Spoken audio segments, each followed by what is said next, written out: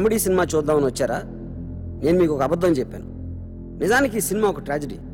Tragedy అంటే రారని భయపడి కామెడీ అని అబద్ధం చెప్పాను. కానీ నిజానికి కామెడీకి ట్రాజడీకి పెద్ద తేడా లేదు. ఒకటి ట్రాజిడీ ఇంకోటి కామెడీ. ఇంకోటి కామెడీ వేరొకటి ట్రాజిడీ. అప్పల్ రాజు కథ కామెడీకి ట్రాజిడీకి మధ్యన జరిగిన ఒక పోరాటం. కానీ పోరాటం అనేది దాంట్లో డైరెక్ట్గా పాల్గొనే వాళ్ళందరికీ చాలా వినోదం కలిగిస్తుంది. అలాంటి వినోదం కోసం వచ్చిన మీకు ఈ అప్పల్ రాజు ట్రాజిడీ కథ మహా కామెడీగా అనిపిస్తుందని ఆశిస్తూ మీ రామ్ గోపాల్ వర్మ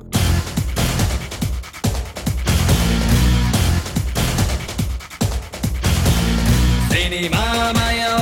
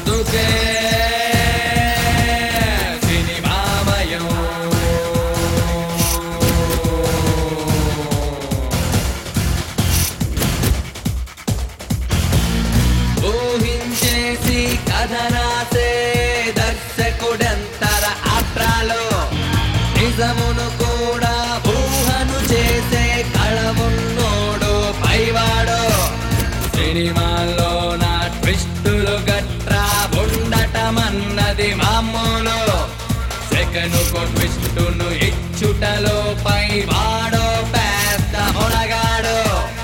ఏడుపు గొట్టు సినిమా తీసి లైఫ్ అంతా ఏడ్చేది ఒకరు. బతుకును టీవీ సీరియల్ చేసి నవ్వేదేమో భగవంతుడు.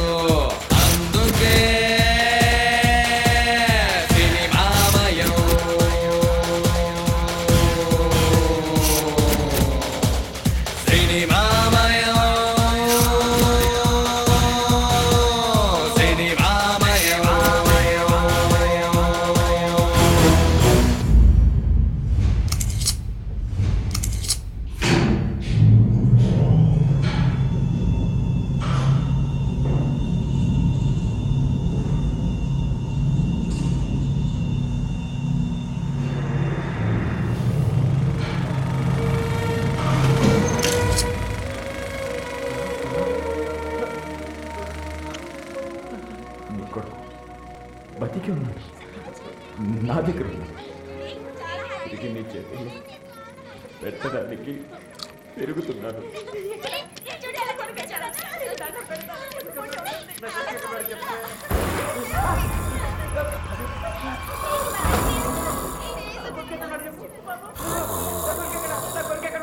నేను అదే రే రే నేను ఎరా ఇంకా సినిమా అవలేదుగా పంపలు అంటుకున్నట్టు లేపేందుకు నీ గురక్క నాకు డైలాగ్ వినపట్లేదు అయ్యి బాబోయ్ ఇదో సినిమా మళ్ళీ దీనికి డైలాగులు తూ.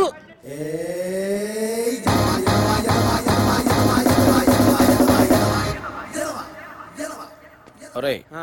ఈ సినిమా చూసాక నాకు వెంటనే నా దగ్గర ఉన్న కత్తి తీసుకుని అర్జెంటుగా హైదరాబాద్ వెళ్ళి సినిమా తీసేయాలనుందిరా. ఒరేయ్ నువ్వు జీవితంలో ఇప్పటి వరకు కెమెరా కాదు కదా దూరం నుంచి షూటింగ్ కూడా చూడలేదు. ఎలా తెస్తారో సినిమా? ఒరేయ్ నీకు బాడీ ఎదిగింది కానీ బుర్ర ఎదగలేదురా. ఇప్పుడు మనం వ్యవసాయం చేస్తున్నాం అనుకో. వ్యవసాయం గురించి మనకు తెలుసా? కూలోడు వచ్చి కూలి పని చేస్తాడు. బ్రోకర్ వచ్చి ధాన్యం అమ్మేస్తాడు. ఈ మధ్యలో మనం చేసేది ఏంటి? ఆజిమాయిషి. ఎస్ వాళ్ళు చేసేది అదే. ఇప్పుడు మనం టీవీలో చూస్తున్నాంగా. షూటింగ్లో టీవీల ముందుకు వచ్చి అందరి మీద అజమాయిషి తప్ప ఇంకేం చేస్తున్నారు వీళ్ళు? అవునరా నాకు తెలియక అడుగుతున్నాను. ఎవరి దగ్గర అసిస్టెంట్గా చేయకుండా డైరెక్ట్గా డైరెక్ట్ చేసాడని నువ్వేం రాంగోపలర్వా రామ్ గోపాల్ వర్మ చెప్పుకోక చెప్పుకోక ఆడి గురించే చెప్పుకోవాలరా. అదేంట్రా? శివ లాంటి గొప్ప సినిమా తీసాడు కదా. శివ గొప్ప సినిమారా? కాదంట్లా. కానీ టాలెంట్తో తీసాడా మరి? లక్కుతో శివ సినిమా తీసి. మెట్లెక్కిందా?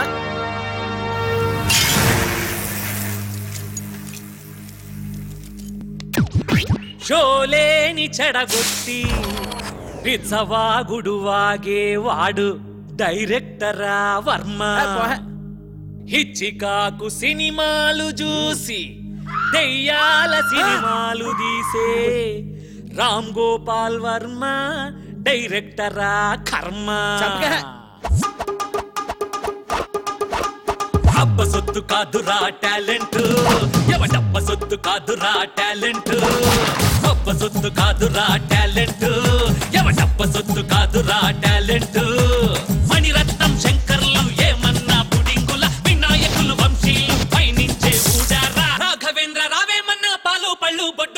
గొప్ప సినిమా తీశాడా? గొప్ప సొత్తు కాదురా టాలెంట్. ఎవడబ్బ సొత్తు కాదురా టాలెంట్. అప్ప సొత్తు కాదురా టాలెంట్. ఎవడబ్బ సొత్తు కాదురా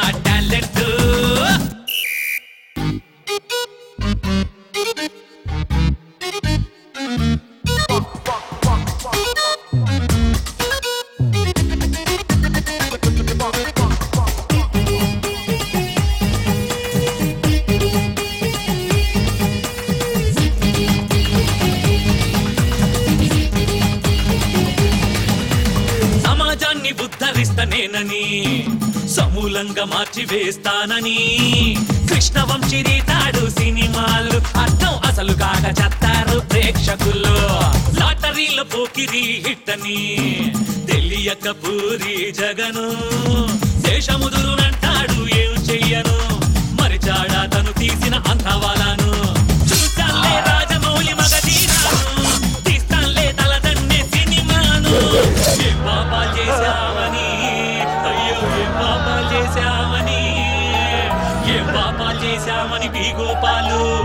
పనిగా పేలుస్తాడు.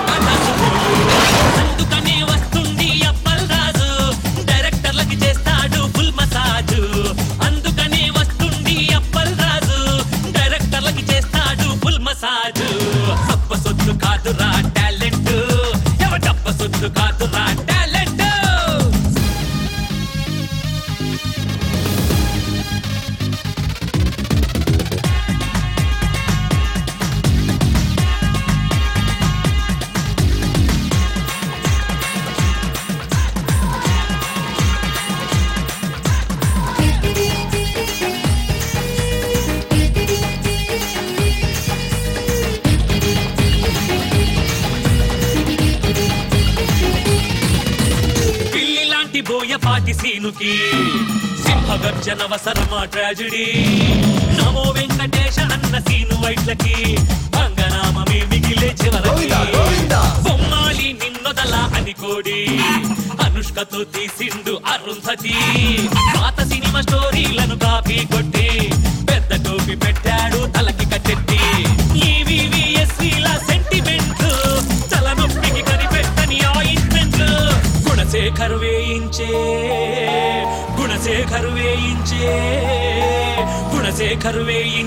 లక్షల సెట్లు ప్రొడ్యూసర్ పాలిటవి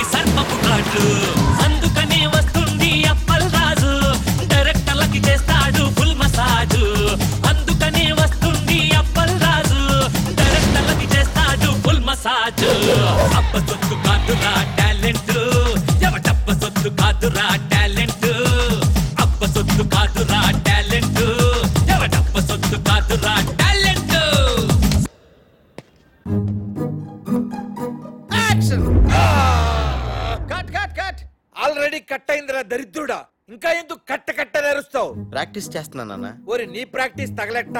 అదృష్టం బాగుండబట్టి ఇక్కడ కట్ అయింది. అదే కొంచెం కింద కట్ అయి ఉంటే మీ అమ్మ మంగళసూత్రం కట్ అయిపోయేది.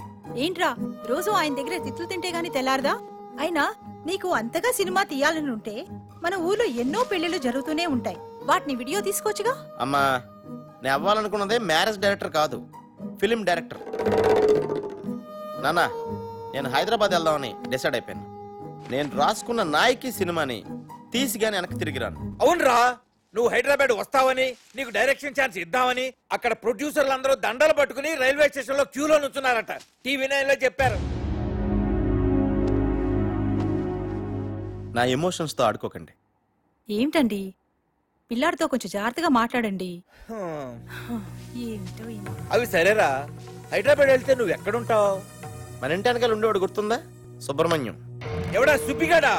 ఆడు హీరో అవుదామని వెళ్ళి ఆరేళ్ళయింది ఇంతవరకు హీరో కాదు కదా దూరదర్శన్ పందుల పెంపకం కేంద్రం ప్రోగ్రామ్లో కూడా ఎక్కడ కనపడలేదు. నాన్న ఆడు హీరోగా ఛాన్స్ వస్తేనే చేస్తానని చెప్పి ఆగాడు. ఆ ఆడు చెప్పాడు నువ్వు నమ్మావు. అది సరేరా మన ఇంటా వంట లేదు ఈ సినిమా పిచ్చి నీకెక్కడి నుంచి వచ్చిందిరా? నాన్న సినిమా పిచ్చి అనకండి. మీకు ఎంత చెప్పినా అర్థం కాదు.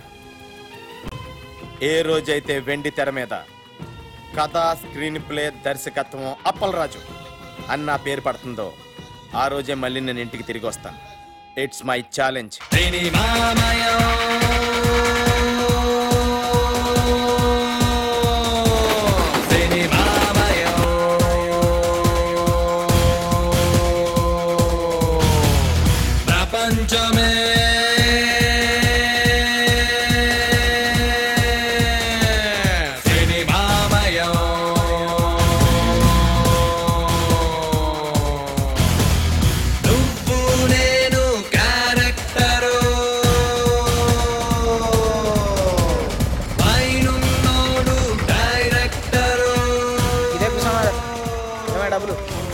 thank you. ఏమండి?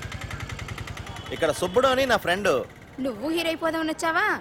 కాదండి డైరెక్టర్ అవుదామని వచ్చాను. వాడు షూటింగ్కి వెళ్ళాడు. షూటింగా? మావాడప్పుడే హీరో అయిపోయాడా? ఆ, చాలా పెద్ద హీరో అయిపోయాడు. షూటింగ్ ఎక్కడ?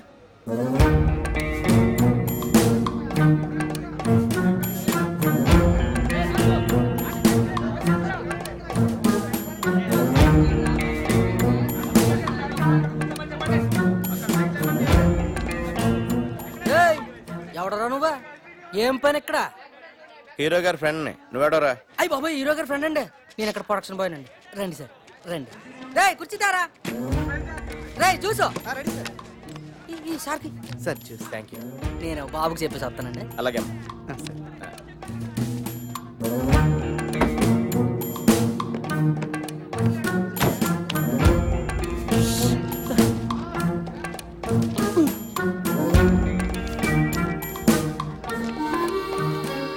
ఆపుతావా నీ సోది. నా బాధ చెప్తుంటే నీకు సోదిలా ఉందా? అయినా నేను నీతో చెప్పకపోతే ఎవరితో చెప్తాను చెప్పు.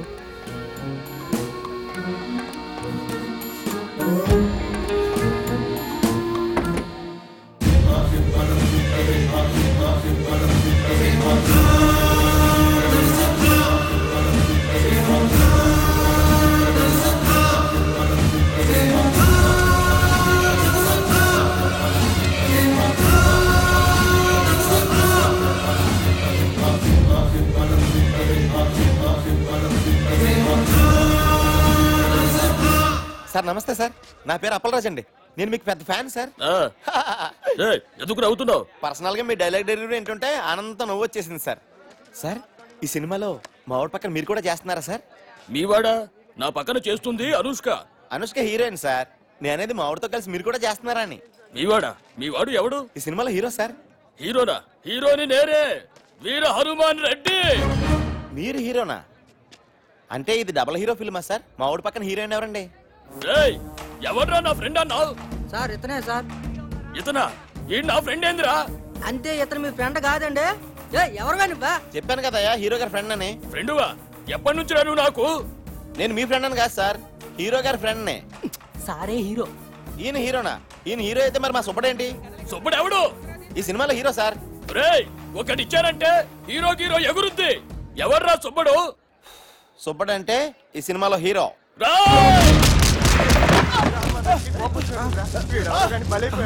హీరో ఫ్రెండ్స్ అసలు వాల్యూ లేదా? ఊరికా ఊర్లో ఒక్కనే చేసి పడతారు అమలాపురం అని చెప్తాను మీ పని. సినిమా బయటింగ్ అనుకున్నా. సినిమా ఇండస్ట్రీలో నెగ్గుకురావడం చాలా కష్టం అని రంభా థియేటర్ వెనకాల సిగరెట్ కాల్స్తూ చెప్పానా లేదా? హీరో వేషాలు వేస్తానని వచ్చి కోతేసాలంటరా ఆర్టిస్ట్ ఉండేది ఫేస్ వాల్యూ కదరా. నేను స్క్రీన్ మీద కనిపిస్తే హీరోగానే కనిపించాలి. అప్పుడు దాకా ఫేస్ కనిపించుకున్న వేషాలని తప్పదు. ఫుడ్ బెడ్ గడవాలి కదా. మొన్న ఎప్పుడో పూరి జగన్నాథ్ నేను హీరోగా పరిచయం చేస్తున్నాడని చెప్పావు కదరా. అన్నాడు. మధ్యలో వాళ్ళ తమ్ముడు దూరాడు. మరి రామ్ గోపాల్ వర్మ నీకు బ్రేక్ ఇస్తాడని చెప్పావు? ఆ మధ్య ఏదో జేమ్స్ కొత్త Shiva two thousand six flop అయిన తర్వాత కొత్త వాళ్ళతో సినిమా తీనని చెప్పి బాలాజీ మీద కొట్టేశారంట. అది సరే నువ్వేంటి ఇలా వచ్చావు? నేను డైరెక్టర్ అవుదాం డిసైడ్ అయిపోయాను. హే, నీకు ఇంకా సినిమాలు పిచ్చి తగ్గలేదా? డైరెక్టర్ అవడం మామూలు విషయం కాదు. డైరెక్టర్ అని ఓడికి సినిమాని అర్థం చేసుకునే సున్నితమైన మనసుంటే చాలురా. మాయా బజార్ దేవదాసు చెల్తీకా నామ్ గాడి జేమ్స్ బాండ్ అడవి రాముడు శంకరాభరణం. ఇలాంటి గొప్ప గొప్ప సినిమాలు చూసిన తర్వాత కూడా వాటి నుంచి నేర్చుకుని ఇంకా బెటర్ సినిమా తీయలేకపోతే నేను డైరెక్టర్ అవడమే వేస్ట్ రా మాయ బజారు దేవదాసు చల్తి నాము James Bond Adavi Ramudu Sankarabharanam యాదవ్కి బారాతు టైటానిక్. కెమెరాన్ని వేస్తా తీటంతా తీస్తా వాటన్నిటి దుమ్ము దులిపేస్తా డైరెక్ట్ చేస్తా సినిమాని తీస్తా బాక్స్ ఆఫీస్ వాయిస్తా డైరెక్ట్ చేస్తా సినిమాని తీస్తా బాక్స్ ఆఫీస్ వాయిస్తా మాయ బజారు దేవదాసు చల్తి కన్నాము జేమ్స్ బాండు. అడవి శంకర భరణం యాదవ్కి బారాతు టైటానిక్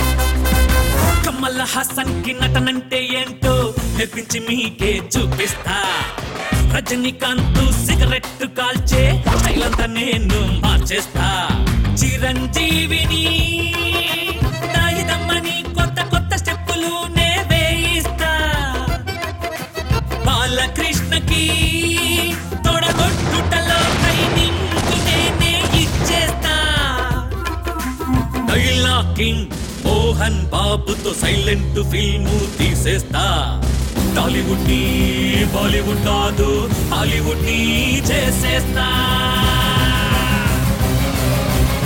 మయ బజారు దేవదాసు చదిక నాము James Bond Adavi Ramudu Sankarabharanam యదంకి బారాతు టైటానిక్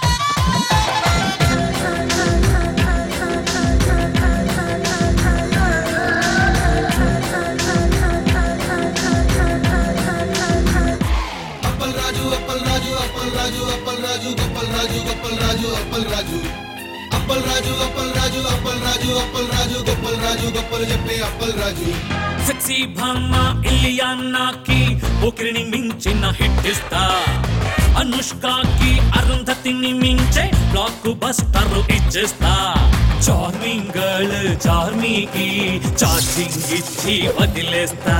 ప్రెట్టి గర్ల్ ప్రియమణిని బాటం టు టాప్ లేపేస్తా. ఆ పక్కింటి అమ్మాయిని పెట్టేసి రంగీల ఇంకోల నిర్దిస్తా కదా స్క్రీన్ ప్లే దర్శకత్వం అంటే ఏంటో మీకు చూపెడతా. నీ కాన్ఫిడెన్స్ చూస్తుంటే నేను హీరో అవ్వకముందే నువ్వు డైరెక్టర్ అయిపోతావు అనిపిస్తుంది. థ్యాంక్స్ రా. కానీ ఈ సినీ మాయ నగరంలోకి ఎంటర్ అవ్వాలంటే ఓ పెద్ద లాకేస్ ఉంటుందిరా. రే ప్రతి లాక్కి ఒక కీ ఉంటుందిరా. నాలాంటి ఎన్నో వేల కీలు దాంట్లో దూరలేకపోయారా నా దగ్గరున్న నాయకి స్క్రిప్ట్తో ఆ లాక్కు కొత్త కీ తయారు చేస్తాను. రే నాకు కన్నం చూపించరా? ఎలా దూసుకెళ్ళిపోతానో చూడు. ఈరోజు సాయంకాలం కొట్టుకుందరా సినిమా ఆడియో ఫంక్షన్ ఉంది. దానికి రెండు పాసలు సంపాదిస్తాను.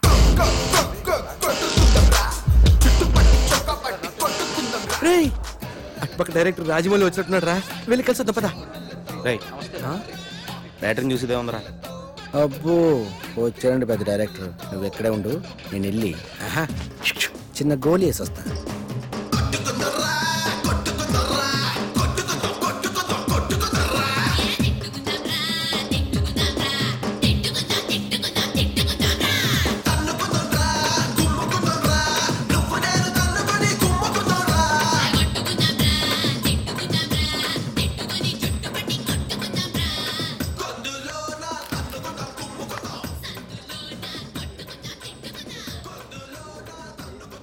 ప్రొడ్యూసర్ తాలూకానా?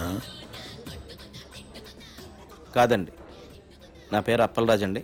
మా ఫ్రెండ్తో వచ్చాను ఆడికి మీరెవరు? రాకీ అంటే మీరు ప్రొడ్యూసర్ అండి? ప్రొడ్యూసర్? సురేష్ బాబు అరవింద్ దిల్ రాజు ఎంఎస్ రాజు. వాళ్ళందరికీ నేనే. Sorry sir. మీరెవరో తెలియక అలా మాట్లాడాను. పర్లేదు. సార్ మీ గురించి ఎప్పుడు ఎక్కడ వినలేదండి. కనీసం మీ ఫోటో పేపర్లో టీవీలో కూడా చూడలేదండి. నేను దిగితేనే కదా నువ్వు చూసేది. ఈ మీడియా పబ్లిసిటీ నాకు నచ్చవు. వీటిని చాలా దూరంగా ఉంచుతాను. సార్ నేను డైరెక్టర్ అవుదామని వచ్చాను సార్. నా దగ్గర నాయకి అని ఒక గొప్ప ట్రాజడీ కథ ఉంది సార్. అది heroine oriented subject sir. Sir మీరు కనుక కథ వింటే దేవదాస్ కంటే గొప్ప ట్రాజడీ కథను ఒప్పుకుంటారు సార్. కథేనయ్యా సినిమాకి ఇంపార్టెంట్. సూపర్గా చెప్పారు సార్. సార్ అమలాపురం రంభా థియేటర్లో సినిమా చూస్తున్నప్పుడు నా నమ్మకం కూడా ఇదే సార్. సార్ నాకు ఇంకో నమ్మకం కూడా ఉంది సార్. ఈ ఎంటర్టైన్మెంట్ సినిమాల్ని ఇమీడియట్గా ఆదరిస్తారు జనం. కానీ ట్రాజడీ సినిమాల్ని ఎప్పటికీ గుండెల్లో పెట్టేసుకుంటారు సార్. వాటికి లాంగ్ లైఫ్ ఉంటుంది సార్. సార్ నేను రాసిన నాయకి స్క్రిప్ట్ కనుక మీరు చదివితే దేవదాస్ సినిమాలో ట్రాజడీ కంటే గొప్పగా ఉందని చెప్తారు సార్. చదవండి సార్. సార్ మీరు చదివాక నేను మళ్ళీ మిమ్మల్ని ఎప్పుడు కలవను సార్? రేపు పొద్దున్న వద్దు. మహేష్ బాబు వాళ్ళ ఇంటికి లంచ్ పిలిచాడు? ఎల్లుండి చెన్నై వెళ్ళాలి. రజనీకాంత్ పిలిచాడు. ఇప్పటికే రెండు నిమిషాలు పోస్ట్ పోన్ చేశాను. నువ్వు పని చెయ్యి. సాటర్డే గలు నేను ఇంక డైరెక్టర్ అయిపోయినట్టారా నాకు రాఖీ గారు అపాయింట్మెంట్ దొరికేసింది. రాకీ ఎవడరా? ఎంఎస్ రాజు దిల్ రాజు అల్లు అరవింద్ సురేష్ బాబు వీళ్ళందరికీ వెనకాల ఉన్నది ఆయనే. వాళ్ళ ఆఫీస్ బాయా? ఆయన వీళ్ళందరికీ బ్యాక్గ్రౌండ్ రా. ఆయన లేకపోతే వీళ్ళు లేరు. ఆయన పేరు ఇప్పుడు వినలేదే. ఆయన కొంచెం మీడియాకి పబ్లిసిటీకి దూరంగా ఉంటాడులే. హ, అల్లు అరవింద్ సురేష్ బాబు అంటున్నావు? ఎంత దూరంగా కనీసం పేరు కూడా విన్నా. ఎలా? ఎవడోరా నువ్వు? ఆఫ్టర్ ఆల్ జూనియర్ ఆర్టిస్ట్ గడివి. నీ రేంజ్ ఏంటి ఆయన రేంజ్ ఏంటి? లక్ష మందిలో నువ్వు ఒక్కడవరా? లక్ష మందికి ఆయన ఒక్కడే. కింగ్ మేకర్ రే నా అదృష్టం కొద్దీ ట్రయల్ స్టార్ట్ చేసిన ఫస్ట్ డేనే ఆయన నాకు దొరికారు. ఆల్రెడీ నా స్క్రిప్ట్ ఆయనకి ఇచ్చాను రా అది కనుక ఆయనకి నచ్చితే ఇమ్మీడియట్గా start camera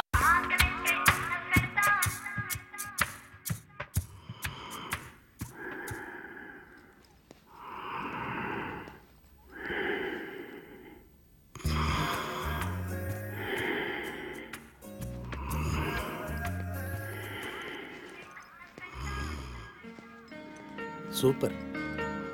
Super. Super. అద్దిరిందయ్యా. ఏమి స్టోరీ ఏమి ట్రాజడీ ఏమి సెంటిమెంట్ ఏమి డ్రామా. కానీ సెకండ్ హాఫ్ ఏనయ్యా కొంచెం. సెకండ్ హాఫ్ ఏంటి సార్ ప్రాబ్లం? ఆయన చెప్తాడు.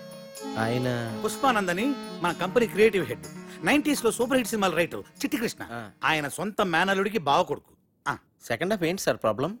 హీరో చచ్చిపోతే జనం సినిమా చూడరు. అది. ఆ, మన సినిమా కథే ట్రాజడీ అండి.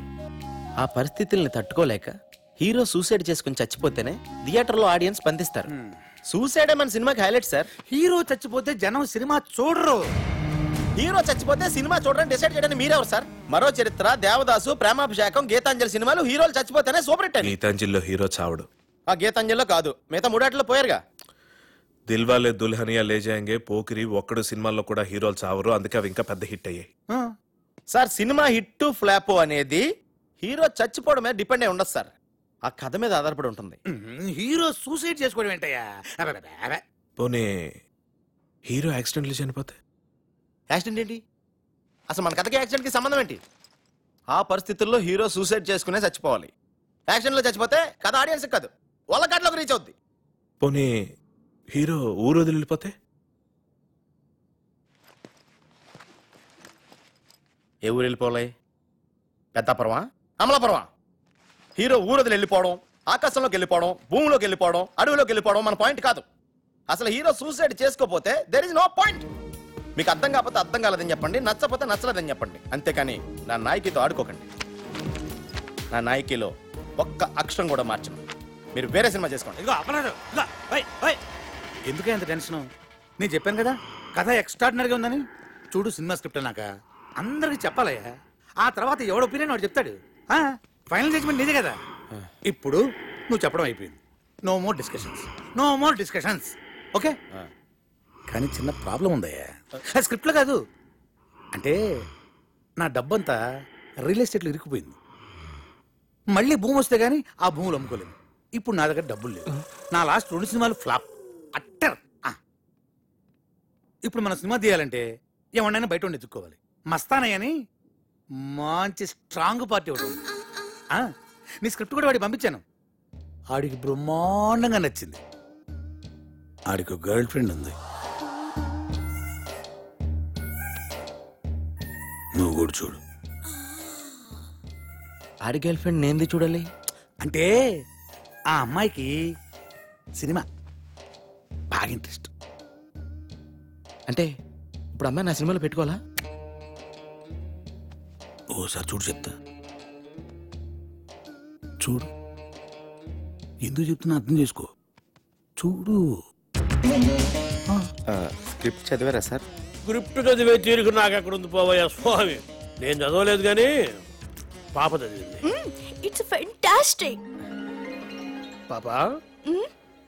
నీకేదో ఇందులో నచ్చిందన్న క్యారెక్టర్ ఏంది అది? అంజలి క్యారెక్టర్. పాప సారీ సార్. డాలి గారు అంటే నేను మీ అందాన్ని టాలెంట్ని కామెంట్ చేయట్లేదండి. నేను ఊహించుకున్న క్యారెక్టర్లో మీరు ఫిట్ అవరని నా ఫీలింగ్ అండి. పోను వేరే క్యారెక్టర్ శాంతి పాత్ర వేస్తారా? దానికి ఆర్సీలే కదా. మీరు దాన్నే తలకండి.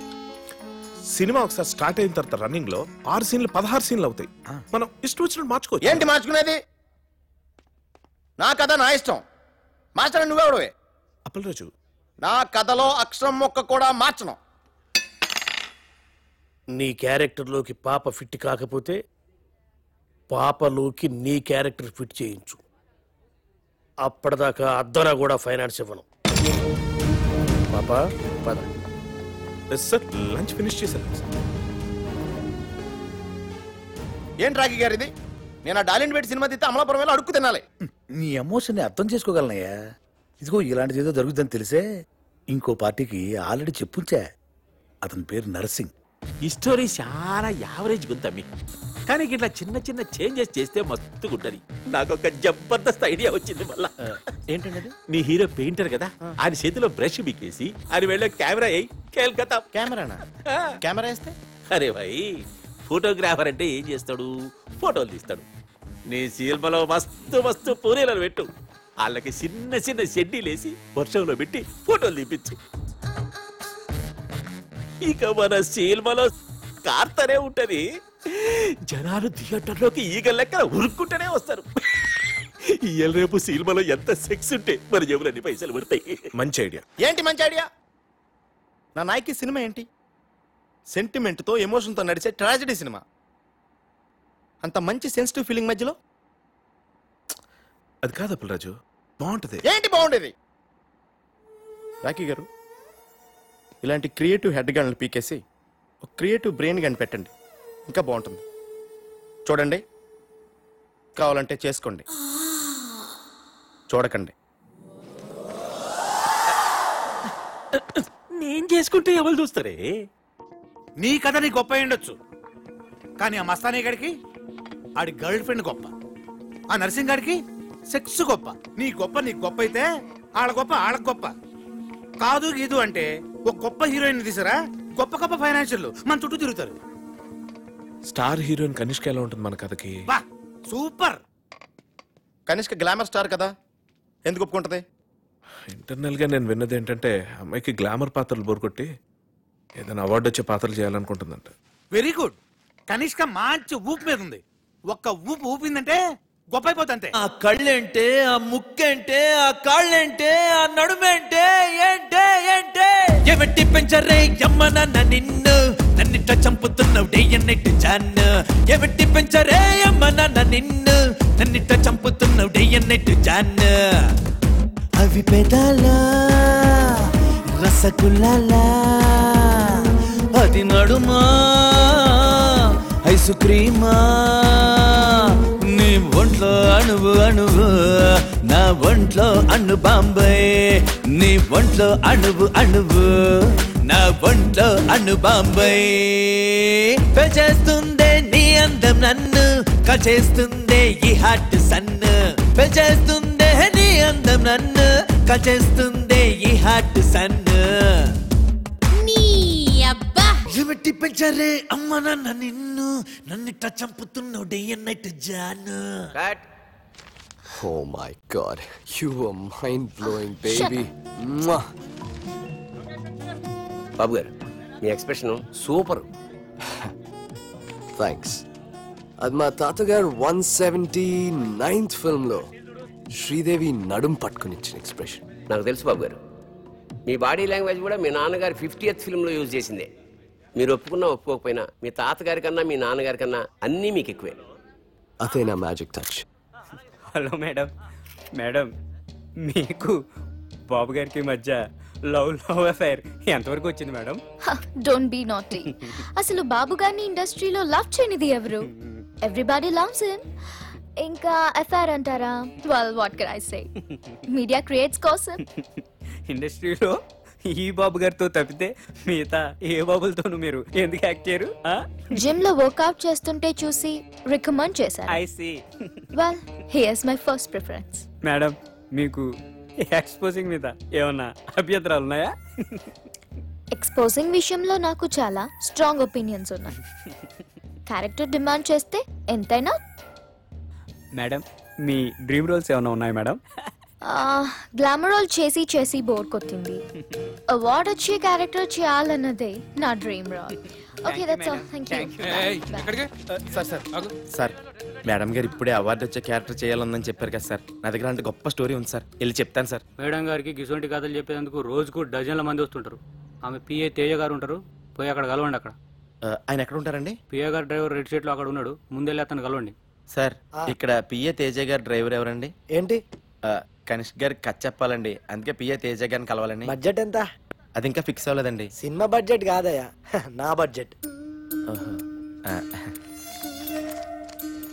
సరే ఇదిగో సార్. ఇలా ఎంతమందిని కలవాలరా? ఆ? ఏదో రిలేషన్ చెప్పి రోజు ఎవరినో ఒకరిని తీసుకొస్తావు? ఈడు మాత్రం నాకు నిజంగా చిన్నప్పటి నుంచి బాగా ఫ్రెండ్ అండి. మీ అమ్మ మీద ఒట్టే చెప్తున్నా. ఆ? ఉమ్, సరే.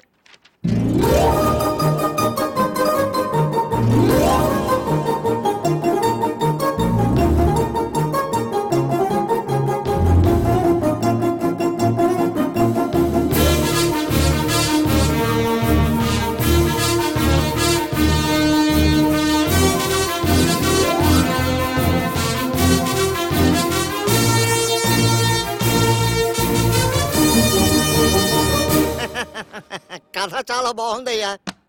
నేను మేడం గారికి చెప్తాను. నేను చెప్పినప్పుడు నువ్వు వెళ్ళి కథ చెప్పాలి. ఓకే?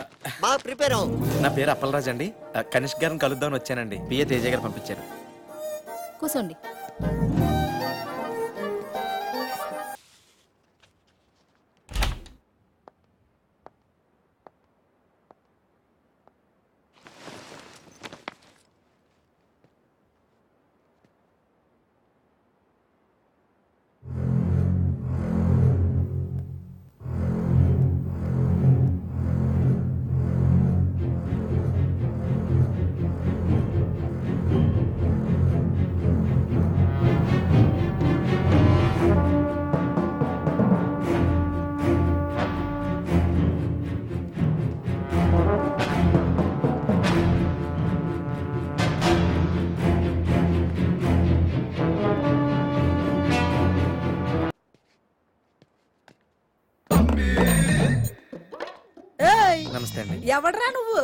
పేరు అప్పలరాజ్ అండి. కనిష్క్ గారికి కథ చెప్పాలని పిఏ తేజ గారు పంపించారండి. ఆ, నువ్వా? కూర్చో. ఆ, చెప్పు. ఆ, ఆ, కనిష్క గారు పాప జాగింగ్కి వెళ్ళింది కథ నన్ను వినముంది. నువ్వు చెప్పు. ఆ, ఆ. ఆ, ఆ, ఓపెన్ చేయగానే పెద్ద ఎడారి. ఆ ఎడారిలో కాళ్ళకి చెప్పులు కూడా లేని రెండు కాళ్ళు పరిగెడుతూ ఉన్నాయి.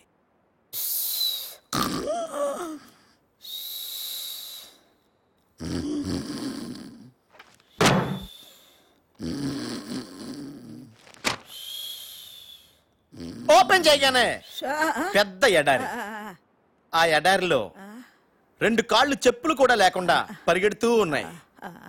సడన్గా పెద్ద మెరుపు. మెరుపు!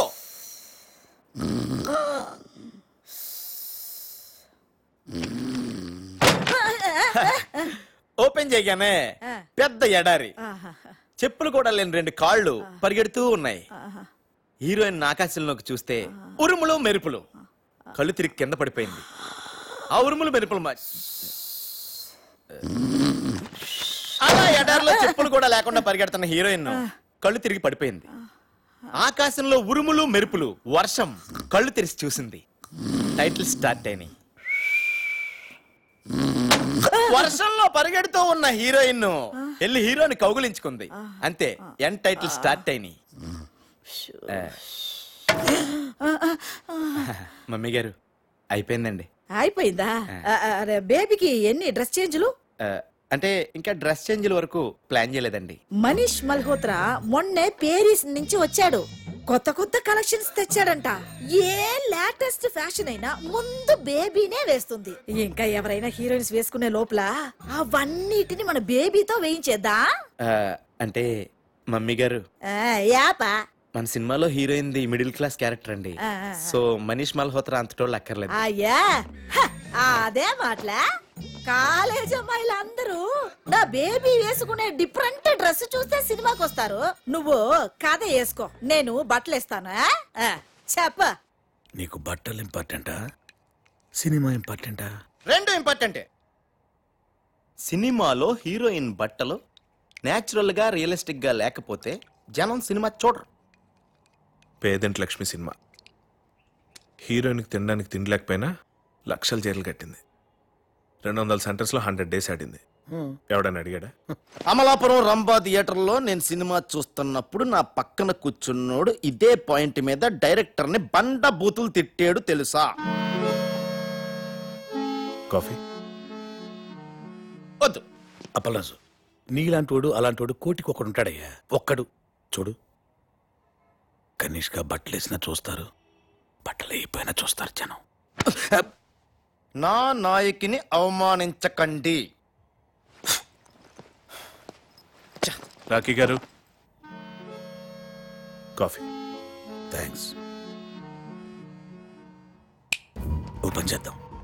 సినిమా స్టార్ట్ అయ్యాక మనీష్ మల్హోత్రా గారిని సైడ్ చేసి నీ ఇష్టం వచ్చిన బట్టలు కుట్టించుకో.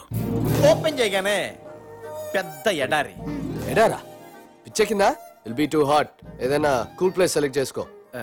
అంటే కథ ప్రకారం ఎడారి అయి ఉండాలండి. అయితే ఓ పని చేయి మీ ప్రొడ్యూసర్తో చెప్పి ఏసీ స్టూడియోలో సెట్ వేయించు. సరే సార్. అదే ఎడారిలో చెప్పులు లేకుండా మీ పాదాలు పరిగెడతా ఉంటాయి. ఏయ్ గాలి తగిలినా కందిపోయేంత సెన్సిటివ్ నా కనిష్క పాదాలు. స్నానం చేస్తున్నప్పుడు కూడా షూ వేసుకోమంటాను. తేలుంటాయా ఎడారిలో? అవి కుడితే నువ్వు భరిస్తావా? ఆ? బాబు ఏదైనా ప్రాక్టికల్ ప్రాబ్లమ్స్ ఉంటే తర్వాత చూసుకోండి. ముందు అతనిని కథ చెప్పనివ్వు. థ్యాంక్ యూ మేడం అలా పరిగెడుతున్న మీ కళ్ళలోకి సూర్యకిరణాలు వచ్చి స్ట్రైట్గా తాకుతాయి. డార్లింగ్ ఈ షార్ట్కి సింగపూర్ నుంచి తెచ్చిన లేటెస్ట్ రేబాన్ గ్లాసెస్ వేసుకో. యు లుక్ రియలీ హాట్ అంటే ఈ సీన్లో హీరోయిన్కి సన్ గ్లాసెస్ ఉండకూడదండి. గ్రాఫిక్స్లో డిలీట్ చేసుకో అది కూడా చెప్పాలా? సరే సార్. అలా పరిగెడుతూ ఉన్న మీరు ఆ ఎండ తాకిడికి కళ్ళు తిరిగి కింద పడిపోతారు. ఏంటి? కాళ్ళు పెడితేనే కష్టం. అలాంటిది బాడీ మొత్తం పడాలంటే ఎలా? ఓపెన్ చేయి. ఆ, పరుపు లేంచు లేదా దిండ్లే super sir super.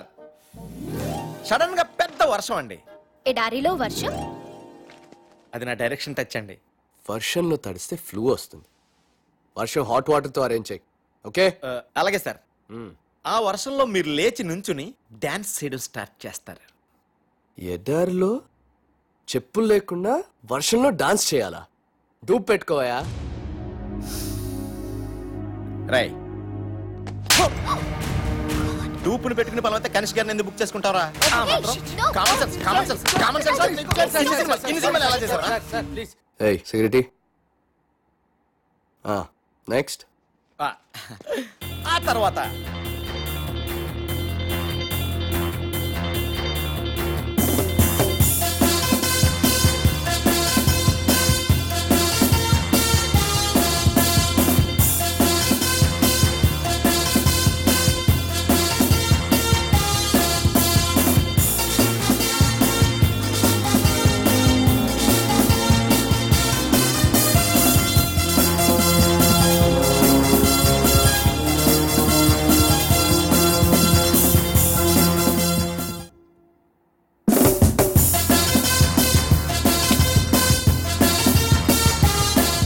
Congrats Appalaraju congrats. ఈ రోజుల్లో కనిష్క డేట్స్ దొరకడం అంటే సామాన్యమైన విషయం కాదు. ఇదంతా నీ లక్. లక్ కాదు సార్. నా నాయకి కథలో ఉన్న పవర్. సరే ఓకే. నీ కోసం కొంతమంది అసిస్టెంట్ డైరెక్టర్ పిలిపించాను. వాళ్ళందరినీ ఇంటర్వ్యూ చేసి నీకు కావాల్సిన వాళ్ళని.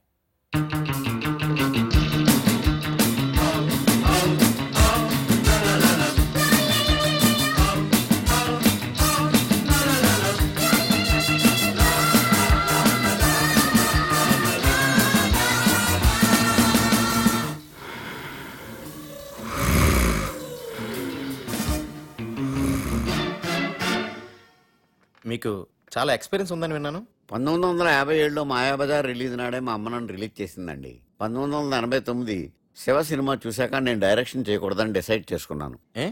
అంతకంటే గొప్ప సినిమా తీయలేమనా? చిచ్చిచ్చి అదేం సినిమా అండి. ఒక సైకిల్ చైన్ తీయడానికి మెకానిక్కే పది నిమిషాలు టైం పడుద్ది. అదే ఆ నాగార్జున పుట్టుకుని పట్టుకుని పట్టకం లాగేశాడు. అసలు లాజిక్ ఉందండి ఆ సినిమాలోను? దాన్ని హిట్ చేసిన ఆడియన్స్ మీద కోపంతో నేను డైరెక్షన్ మానేసి అసిస్టెంట్ డైరెక్టర్గా సెటిల్ అయిపోయాను. హ్మ్. హ్మ్.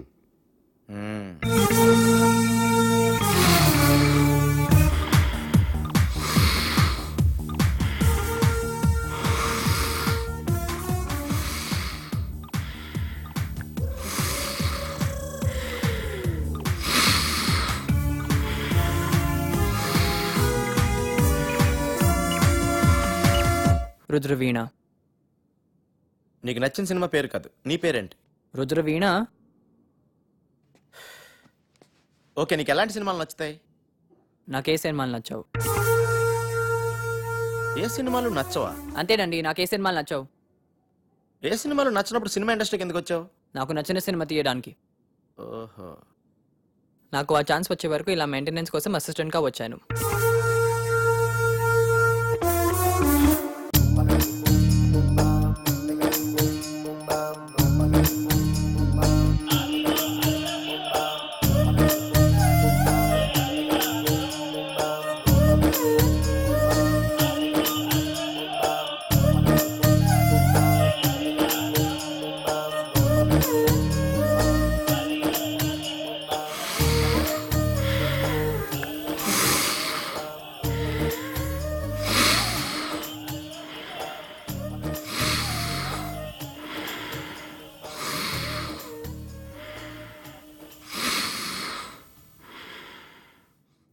పేరేంటి? అది నీ పేరేంటయ్యా? అన్నా అన్నమాచార్య సార్. చూడు అన్నమాచార్య ఎందుకు అంత భయపడుతున్నావు? అబ్బాయి ఏం లేదు సార్. ఏమీ లేదంటున్నావు? అది పెద్దవాళ్ళని గౌరవించాలని మా అమ్మ చెప్పింది సార్. చూడు అన్నమాచార్య ఇక్కడ మనంతా కలిసి పని చేస్తున్నాం ఇందులో పెద్ద చిన్న ఏంటి మళ్ళీ? అయ్యయ్యో అలా కనుక్కోండి సార్. మీకోసం ఒకటి తెచ్చాను సార్ ఏంటిది? అంటే మీ సినిమా హిట్ అవ్వాలని ఆండలంతలు ఖర్చించి ప్రసాదం తీసుకొచ్చాను సార్. పెట్టు ఆడు పెట్టు. సార్. సార్. మీ సినిమా సూపర్ టూపర్ హిట్ అవుతుంది sir.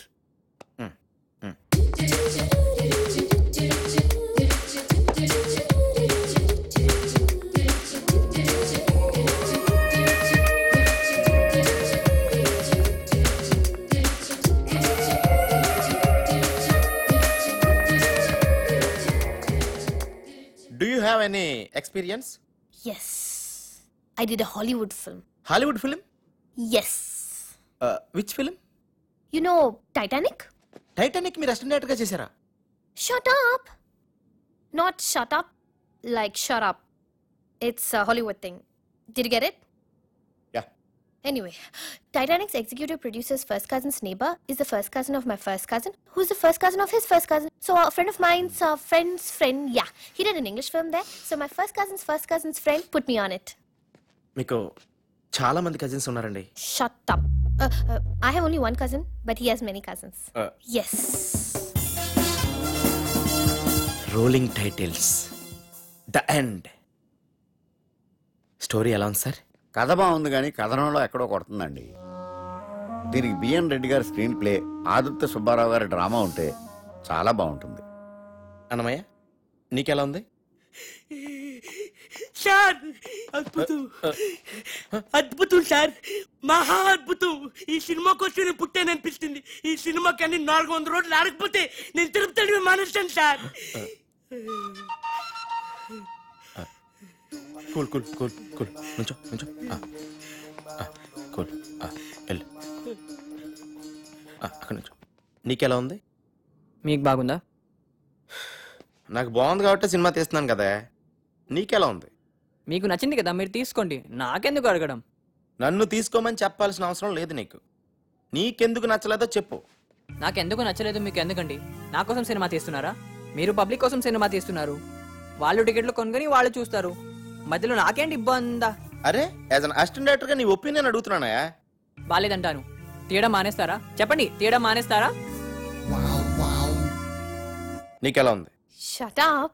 Huh? Shut up అంటే నా అర్థం ఇది కూడా అడగాల అని. ఓ అంటే దీని అర్థం బాగున్నట్టుగా? Yes Appalaraju mega max company వాళ్ళతోటి మీటింగ్ అరేంజ్ చేశాను. మెగా మ్యాక్స్ అంటే బాంబేలో ద పెద్ద కార్పొరేట్ కంపెనీ ఇప్పుడు ఇక్కడ కూడా ఆఫీస్ ఓపెన్ చేశారు. ఇప్పుడు మనంతా కార్పొరేట్ లెవెల్ మన సినిమా ఫైనాన్స్ కూడా. మ్, మ్, మ్, మ్. ఆ కంపెనీకి హెడ్ ఉన్నాడు.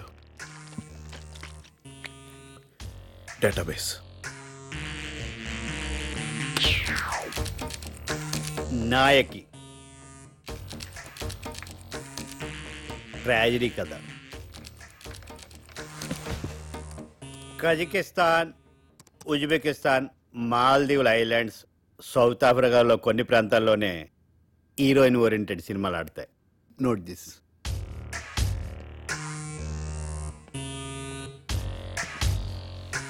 అక్కడ మన తెలుగు సినిమాలు చూడరు.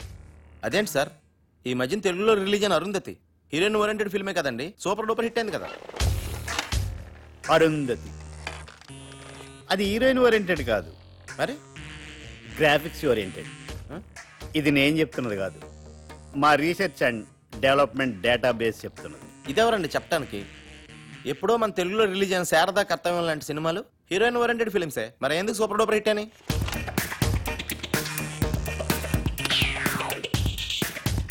శారదా కర్తవ్యం. అప్పటికే మా రీసెర్చ్ అండ్ డెవలప్మెంట్ ఇంకా డెవలప్ కాలేదు. అయితే మరి ఇప్పుడు ఏం చేయాలి సార్? మీ సినిమాలో హీరోయిన్ కనిష్క పక్కనే ఎవరైనా స్టార్ హీరో ఉంటే మేము రెడీ. సార్ మా సినిమాలో హీరో క్యారెక్టర్ చాలా చిన్నదండి. మొత్తం స్టోరీ అంతా కనిష్క మీద బేసే ఉంటుందండి. సో ఏ హీరో ఈ క్యారెక్టర్ చేయడానికి ఒప్పుకోడు సార్. అది మీ ప్రాబ్లం. నన్ను ఏం చేయమంటారు? తను ఏం చేయలేదు. మీ సినిమాలో ఎవరైనా స్టార్ హీరో ఉంటే మేము ఫైనాన్స్ చేయడానికి రెడీ. అని మా డేటాబేస్ చెప్తుంది. అలా బ్లాంక్ అయ్యారే? అప్పలరాజు ఈ క్యారెక్టర్ని బాబు గారు చేయడానికి అవకాశం ఉంది. ఎలా? డైరెక్టర్ అవ్వాలంటే ఊరికే కథలు మాత్రం రాసి సరిపోదయ్యా ఇండస్ట్రీలో ఉన్న కొన్ని ఇల్లీగల్ పాయింట్స్ కూడా తెలుసుకోవాలి. Correct correct. ఏంటి కరెక్ట్? కరెక్ట్. అదే ఏంటి కరెక్ట్? కరెక్ట్. కరెక్టే ఏంటి కరెక్ట్? అదే అదే అదే ఏంటి ఏంటి ఏంటి ఏంటి అదే కరెక్ట్? అప్పలరాజు ఆయన కరెక్టే చెప్పుంటాడు అనుకుని కరెక్ట్ అన్నాను. కరెక్ట్. బాబుకి కనిష్కకి చాలా సీక్రెట్ అఫైర్ ఉందని పబ్లిక్ అందరికీ తెలుసు. ఏదో ఒక బలమైన బలహీనమైన క్షణంలో కనిష్క బాబుకి ఈ మ్యాటర్ పోస్ట్ చేసిందనుకో బాబు చచ్చినట్టు చేసి తీరతాడంతే. కరెక్ట్. Correct correct. కానీ అంత చిన్న క్యారెక్టర్ బాబు చేయాలంటే ఏదో ఒక స్పెషల్ ఇంట్రెస్ట్ ఆ క్యారెక్టర్లో ఉండాలి కదా. ఉంది మేడం. ఈ కథలో ఓ సీన్లో మీరు పరిగెత్తుకొచ్చి హీరో గారిని గట్టిగా కౌగిలించుకుంటారు. ఆ హీరో క్యారెక్టర్కి బాబు గారు కాకుండా వేరే ఇంకెవరైనా ఉంటే బాబు గారు పరువు ఏం కావాలి? మీరు ఇలాంటి ఫిట్టింగ్ ఏమైనా పెడితే మన పని అయిపోతుంది. యూఆర్ టూ స్మార్టా థ్యాంక్ యూ నేను మాట్లాడతాను. కంగ్రాచులేషన్స్ రాఖీ గారు. బాబు గారు మీ సినిమాలో యాక్ట్ చేయడానికి ఒప్పుకున్నారంటే మీరు చాలా లక్కీ. కనిష్క బాబు గారి కాంబినేషన్లో ఇంతవరకు ఒక్క ఫ్లాప్ కూడా రాలేదు. క్రేజీ కాంబినేషన్ మార్కెట్లో మీ ప్రోడక్ట్కి మంచి డిమాండ్ ఉంది. మొత్తానికి మంచి కాంబినేషన్ సెటప్ చేసి టేబుల్ ఫ్రాడ్ కొట్టేశారు. అన్ని పేజీల మీద సంతకం చేశారు. మొత్తం అయిపోయింది సార్. ఇదిగోండి మీ చెక్. సార్. అది మీకే?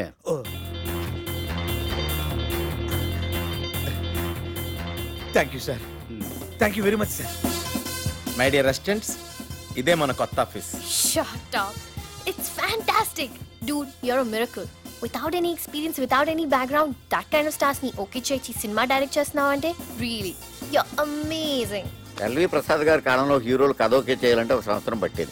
ఒక సంవత్సరం షూటింగ్ చేసేవాడు ఒక సంవత్సరం ఆడేది ఆ సినిమా. మరి ఇప్పుడు ఒక గంటలో కథ రాస్తున్నారు. రెండు గంటల్లో ఓకే చేస్తున్నారు. రెండు నెలల్లో షూటింగ్ చేస్తున్నారు. రెండు రోజులు ఆడి వెళ్ళిపోతుంది ఆ సినిమా. ఎనీవే డైరెక్ట్గా డైరెక్టర్ అయిపోయారు లక్కీ ఫీలో. సార్ ఆ రోజు ఆండలం తల్లి ప్రసాదం తినడం వల్లే సార్ ఈ సినిమా ఓకే అయింది. అంతా దేవుడిదయ్యా సార్ ఈ పొట్టు పెట్టుకోండి సార్. ఏ రుద్రవేణ నువ్వు హ్యాపీగా మీకు సినిమా ఓకే అయితే నాకెందుకండి హ్యాపీ? అదేంటయ్యా నువ్వు కూడా ఈ సినిమాకి పని చేస్తున్నావుగా? నేను పనిచేసే మ్యాటర్ ఎప్పుడో ఫిక్స్ అయింది. దానికి ఇప్పుడెందుకు నాకు హ్యాపీ? మీకు హ్యాపీ అనిపిస్తే మీరు హ్యాపీగా ఫీల్ అవ్వండి. నేనెందుకు అవ్వాలి? Unbelievable Unbelievable, this is Raju. Shake a hand, ఏం surprise. వచ్చినది నాకు సినిమా ఛాన్స్ తెర మీద చూపుతా romance I know you are talented, advance, congrats. రాజంటే మజాకా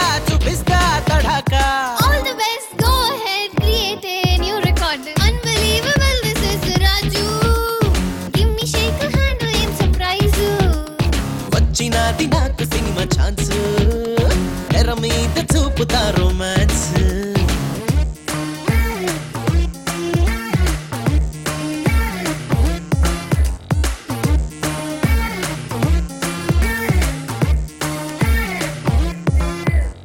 రోడ్డు మీద నడుస్తుండగా పువ్వులోంచి షాట్ తీస్తా.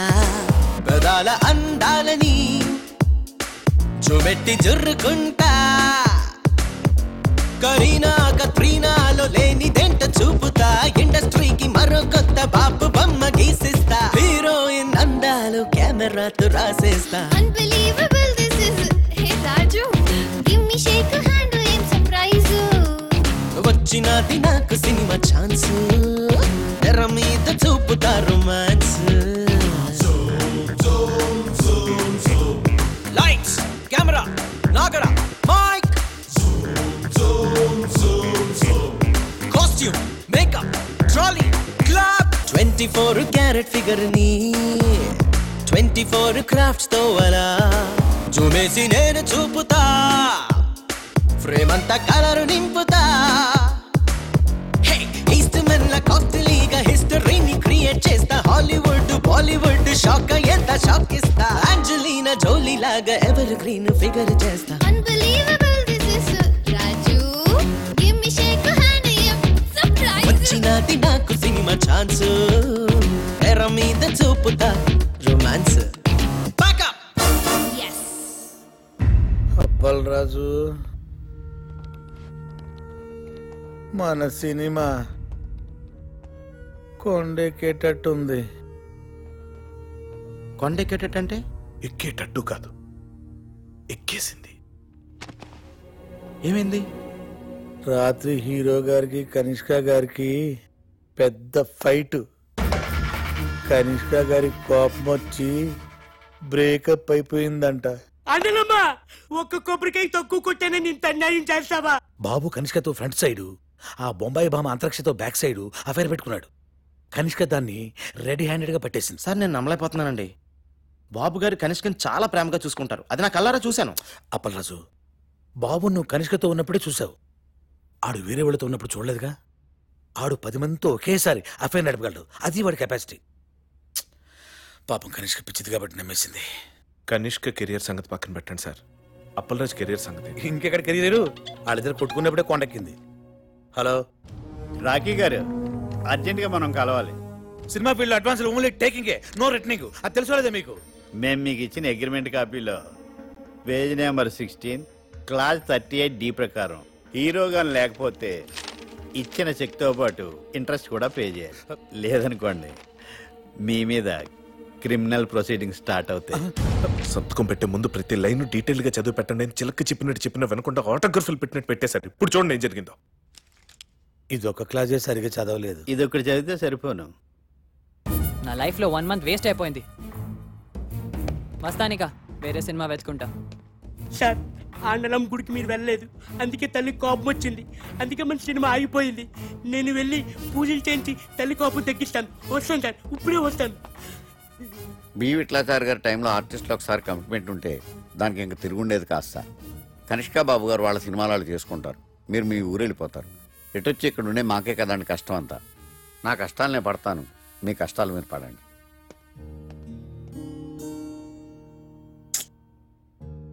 నేను మా అమ్మ నాన్నలకు కూడా సినిమా ఓకే అందని చెప్పేశాను.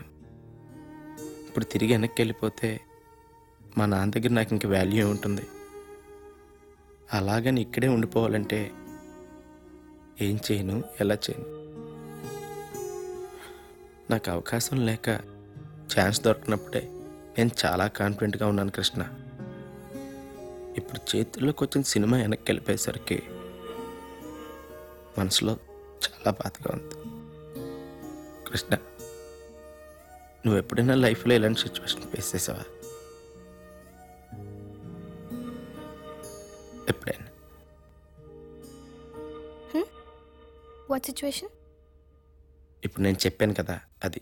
సారీ వినలేదు. ఏదో ఎస్ఎంఎస్ టైప్ చేస్తున్నా. నేను నా లైఫ్కి సంబంధించిన మ్యాటర్ ఇంత సీరియస్గా మాట్లాడుతుంటే మధ్యలో ఎస్ఎంఎస్ ఏంటి? అప్పల్ రాజు నా ఎస్ఎంఎస్ కూడా సీరియసే ఎస్ఎంఎస్ సీరియస్ ఏంటి? అవును సీరియస్ ఎస్ఎంఎస్ అయినా what you think ya world నీకు ఒకటికి ప్రాబ్లమ్స్ ఉన్నాయి అనుకుంటున్నావా? Don't be so selfish sorry కొంచెం ఎమోషన్ అయినా నేను కూడా సారీ యా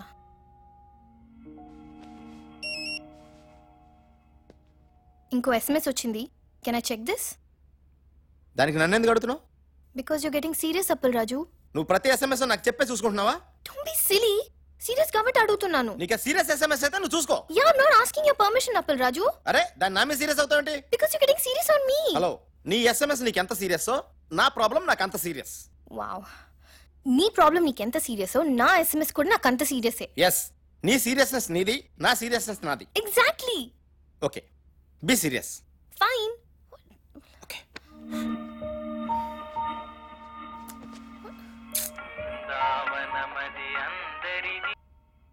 hello.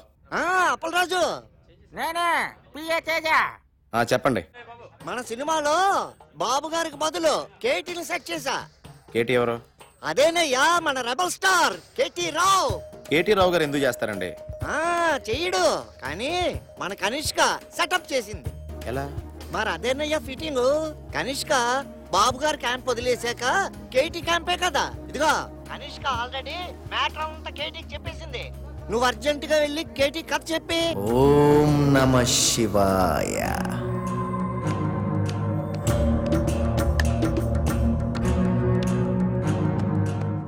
నమస్తే సార్.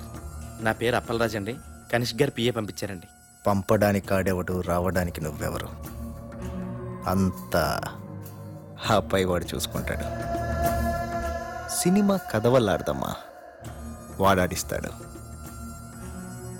క్యారెక్టర్ ఏంటమ్మా? నేనే క్యారెక్టర్ని.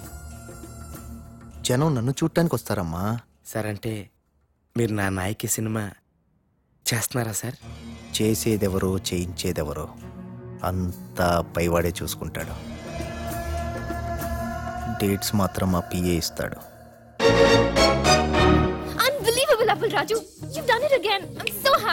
Yes. ఎస్ కేటీ డేట్లు దొరకడం అంటే మాటలా? ఆడికి డేట్లు ఇచ్చింది కథ కోసమో క్యారెక్టర్ కోసమో కాదమ్మా. స్వీట్ ముక్క లాంటి కనిష్క కోసం. నా సినిమాలో సైడ్ హీరోగా చేసి నా వెనకాల అవుట్ ఫోకస్లో నుంచి నా కేటీ నా కొడుకు రెండు హిట్లు ఇవ్వగానే నా కనిష్క లైటింగ్ పెడతాడా? ఆడికి బుద్ధి లేకపోయినా మీ కనిష్కకైనా బుద్ధి ఉండద్దా?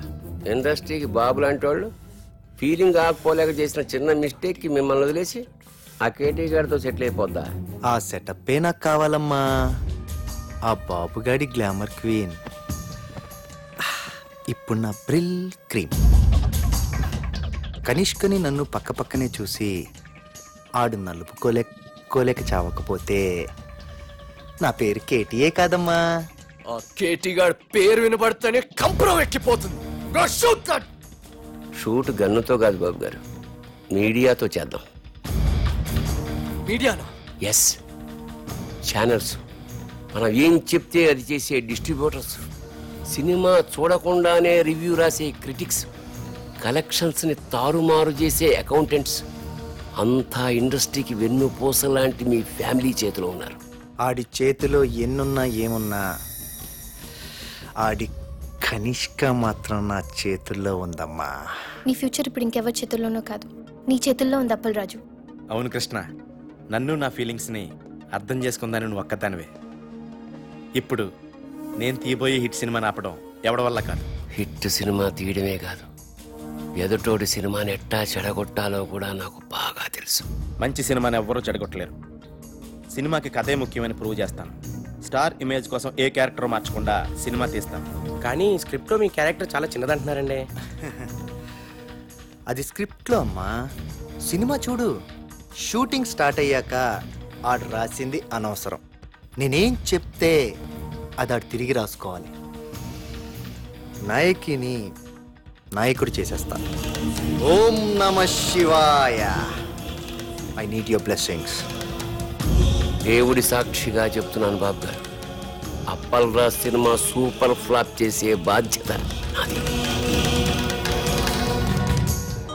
స్వామి చిన్నప్పటి నుంచి నేను నీ కొట్టిన కొబ్బరికాయలన్నీ లెక్క పెట్టుకుని మరి నా నాయకి సినిమా సూపర్ హిట్ అవ్వాలని ఆశీర్వదించు స్వామి.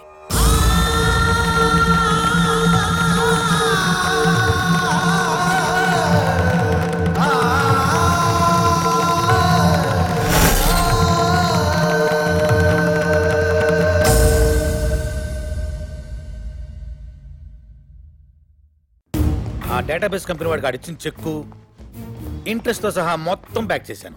అదేంటండి? మెగామాక్స్ కంపెనీతో మనం ఇప్పుడు సినిమా చేయట్లేదా? ఆడి సెవెంటీ పర్సెంట్ ఓవర్సీస్ షేర్ కావాలంట.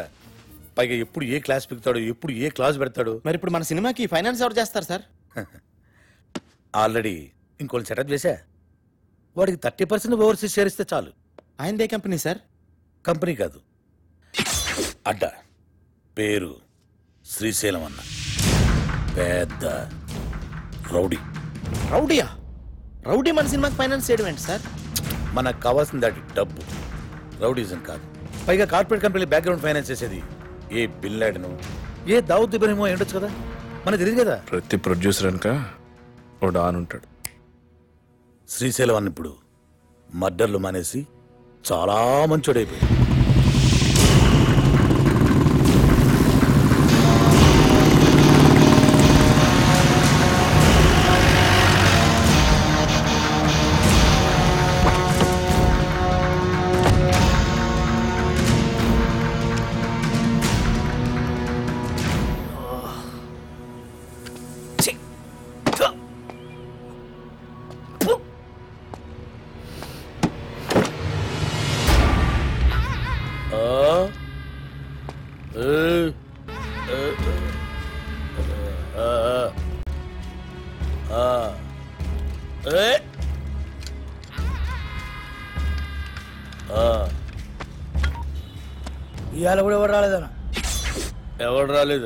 అదే నేను లేపే నీకు ఎవరు రాలే.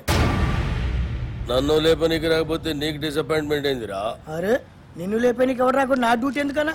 నేనేమన్నా బేకారుగా అన్నావులాగన్నా?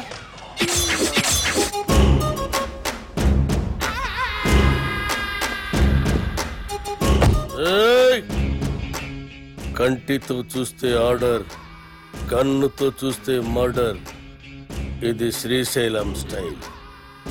జనానికి గన్ అంటే భయం. గన్నుకి నేనంటే భయం. అలా నువ్వు అంటే నాకు భయం లేదనా?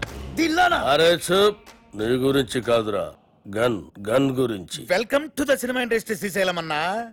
అసలు మీకున్న బ్యాక్గ్రౌండ్ ఈ సినిమా ఇండస్ట్రీలో ఎవరికి ఉందన్నా? ఏయ్! అన్నా. బ్యాక్గ్రౌండ్ కాదురా. Back rowdies. అన్నా ఇతని పేరు అప్పలరాజు. మన సినిమా డైరెక్టర్.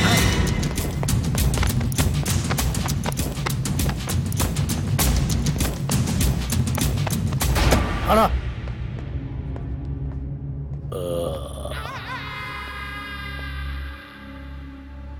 మొదటి సినిమా? నేను మొట్టమొదట మర్డర్ చేసినప్పుడు సిన్సియారిటీ నీ కళ్ళలో కనిపిస్తుంది.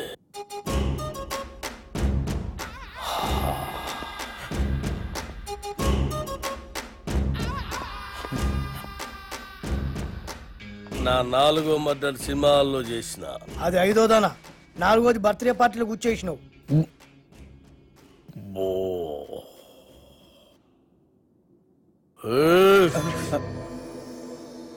కూకోమని కూడా అన్న చెప్పాలా కూకోరి.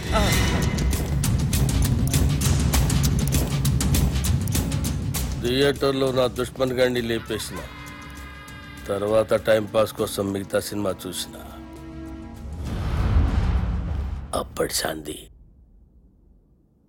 ఇంట్రెస్ట్. ఇంకో విషయం. మన సినిమాలో కత్తులు గన్నులు రౌడీలు బాంబులు ఎవరిని రెంట్కి తెచ్చుకోవాల్సిన పని లేదు. అన్నీ మన దగ్గరే ఉన్నాయి. Free sir sir sir. మనది అలాంటి సినిమా కాదు సార్. మంచి ఫీల్ ఎమోషనల్ సెంటిమెంట్ ఉన్న గొప్ప ట్రాజడీ సినిమా సార్. కన్ను తడిస్తే సెంటిమెంట్ దెబ్బ తగిలితే ఆయింట్మెంట్. అబ్బా! అబ్బా! అబ్బా! అన్నా శ్రీశైలం అన్న! సూపర్ అన్న! అన్నట్టు ఇదిగో శ్రీశైలం అన్న పాటలు బ్రహ్మాండంగా రాశారు తెలుసా నీకు? ఏంటి ఆలోచిస్తున్నావు? మన సినిమాలో పాటలన్నీ అన్నతో రాయితానేగా? రాయిద్దామంటే కాన్ పైన కొడతా. అన్న ఫైనాన్స్ చేసేదే పాటలు రాయనికి. అన్న ఆర్డర్ అయినా ఇది గుచ్చేస్తా. ఇది గుచ్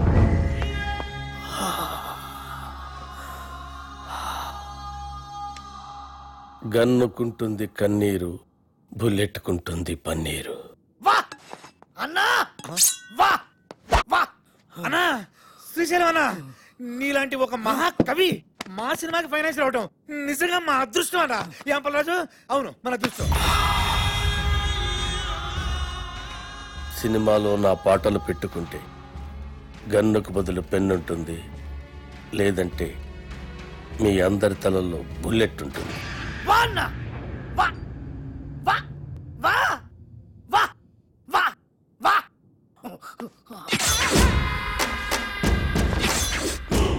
శ్రీశైలం గారి క్రిమినల్ అండి. వాడు నా నాయకి పాటలు రాయడం ఏంటండి? వాల్మీకి కూడా ఒకప్పుడు క్రిమినలే. రామాయణం రాయలే? వాల్మీకి వీడికి పోలిక? పురాణాలను అవమానించుకో. గుల్జర్ కూడా ఒకప్పుడు జేబు దొంగే. రైటర్ అయ్యాడు కదా. గుల్జార్ చెబుతాంగ ఎవడు చెప్పాడు నీకు? తెలుసు. అప్పలరాజు అర్థం చేసుకోండి. శ్రీశైలం అన్న మనం పాటలు రాయమన్నందుకే ఆవిడ మనకు ఫైనాన్స్ ఇస్తున్నాడు. ఆవిడ పాటలు మనకు వద్దంటే కత్తితో కాదు గన్నుతో గొంతుకు వస్తాడు. అలాంటి దగ్గర ఫైనాన్స్ ఎందుకు తీసుకున్నారు సార్? ఇప్పుడు కాదంటే వాడు మళ్ళీ మర్డర్స్ మొదలు పెడతాడు. అంటే? ఇప్పుడు నేను ఆడికి భయపడి చచ్చినట్టు ఆడు ఏం రాస్తే ఆ పాటలు నా సినిమాలో పెట్టుకోవాలా? అసలు ఆడికి పాటలకి సంబంధం ఏంటండి? లిరిక్స్ స్పెల్లింగ్ తెలుసు ఆడికి? పాటలు ఎవరంటారయ్యా? మ్యూజిక్ వింటారు అంతే. నీకు కావాల్సిన మ్యూజిక్ నువ్వు కొట్టించుకో వాడికి కావాల్సిన లిరిక్ వాడు లిరుక్కుంటాడు కాదు గీదు అంటే నీకు ఈ సినిమా ఉండదు నాకు ఈ గొంతు ఉండదు. పుష్ప పద. నీతో సినిమాలు ప్లాన్ చేయడం కంటే డబ్బింగ్ సినిమాలు చేసుకుంటే బెటర్ మిమ్మల్ని ఎడ్యుకేట్ చేయడం నా వల్ల కాదే అంతా అయిపోయింది కృష్ణ. ఇప్పుడు ఆ శ్రీశైలం గాడు పాటలు. పెన్న పెట్టి రాయడు. నాకు గన్న పెట్టి రాస్తాడు. అవి బాగున్నా బాగుపోయినా మనం పెట్టుకోవాలి.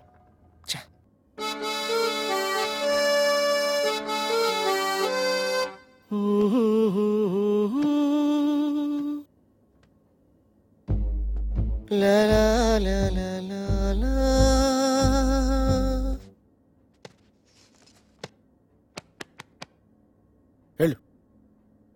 వెళ్ళు. గ్రేట్ సంవత్సరానికి ఒకసారి ఇట్టంటి ట్యూన్ పుడుతుంది. నువ్వు చాలా lucky ఫీలో.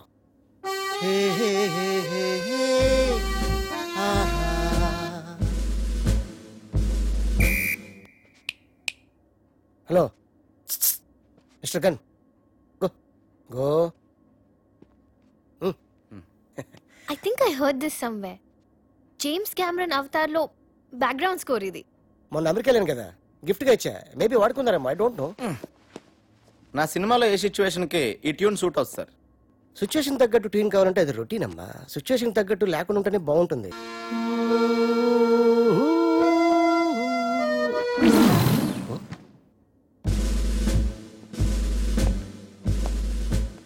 ఈడెవడండి? Hello just asking you who is this guy gun ఎవరికి? అన్నకి. అన్నకా? అన్నకైతే ఇస్ నైస్ గై నువ్వు వాయించు?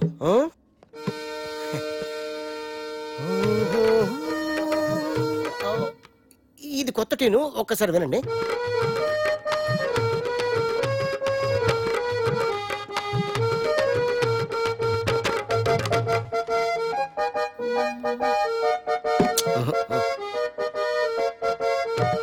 చెప్పాను కదా సార్. నాకు రొటీన్ ట్యూన్స్ వద్దు. ఫీల్తో వచ్చే ట్యూనే కావాలి. రీసెంట్గా రిలీజ్ అయిందే అమ్మ నీ అమ్మ. దాంట్లో మదర్ చచ్చిపోతే హీరోలా ఎత్తుకొని మంచి బీట్ ఉన్న సాంగ్ చేశాడు. అది ఎవరిచ్చారు నేనే. Super hit. నా సినిమాలో అలాంటి పిచ్చి పిచ్చి ప్రయోగాలు చేయనండి. నాకు మంచి ఫీల్ ఉన్న సాంగే కావాలి. అప్పలరాజు ఫీల్ ఉన్న సాంగ్స్ రింగ్ టోన్స్గా రావటం ఎప్పుడైనా విన్నావా? మనం సాంగ్స్ కొట్టించుకునేది వింటానుకా రింగ్ టోన్స్ కా జనానికి ఇప్పుడు సీడీలు క్యాసెట్లు కొని వినేంత టైం లేదు అప్పలరాజు ఇప్పుడు అందరూ రింగ్ టోన్స్లోనే వింటున్నారు. Okay I will do one thing remix చేసి ఒక సాంగ్ ఇవ్వనా? ఇట్స్ వెరీ ఫెంటాస్టిక్ సాంగ్ రిమిక్సా యా అది ఎక్కడ పెట్టను? యువర్ చాయిస్ ఎక్కడ పెట్టుకోండి. నా పేరు శ్రీశైలం.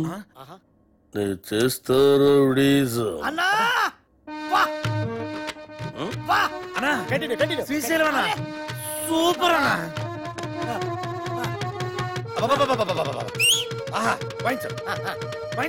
నా పేరు శ్రీశైలం. నేను చేస్తారు అన్నా నీ ప్రతి మాట ఒక పాట అన్నా మన ఇండస్ట్రీకి మళ్ళీ ఒక శ్రీశ్రీ ఒక ఆత్రేయ కంబైన్డ్గా దొరికారనిపిస్తున్నారు వాళ్ళెవరా వాళ్ళు ఎవరంటే ఎవరితో అన్నం పోలుస్తావరా? చంపేస్తా వాళ్ళు- వాళ్ళు-. ఇలాంటి వాళ్ళని చెప్తున్నానన్నా. అన్నా పాట సూపర్గా ఉందన్నా. ఆండలం తల్లి మీద కూడా పాట రాయన్నా. రోజు మీ పేరు మీద పూజ చేసి పాట కూడా పాడతానన్నా.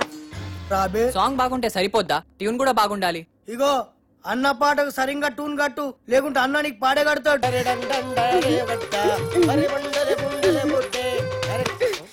ఏంది మంచి బార్కి వచ్చి బంద్ చేసినావు బావా? నీకు తెలియదా బార్లో నీ గంతులు వేస్తుంటే నువ్వు గిట్ల గిట్ల పైసలు వేసుడు ఆదుకొచ్చి నువ్వు లేక గంతులే పెట్టుకోక దేవులాడు కుట్ట గిట్టుకు వచ్చేసిన. ఏయ్, తలాడి తిప్పురివే. తిప్పురి. బావా.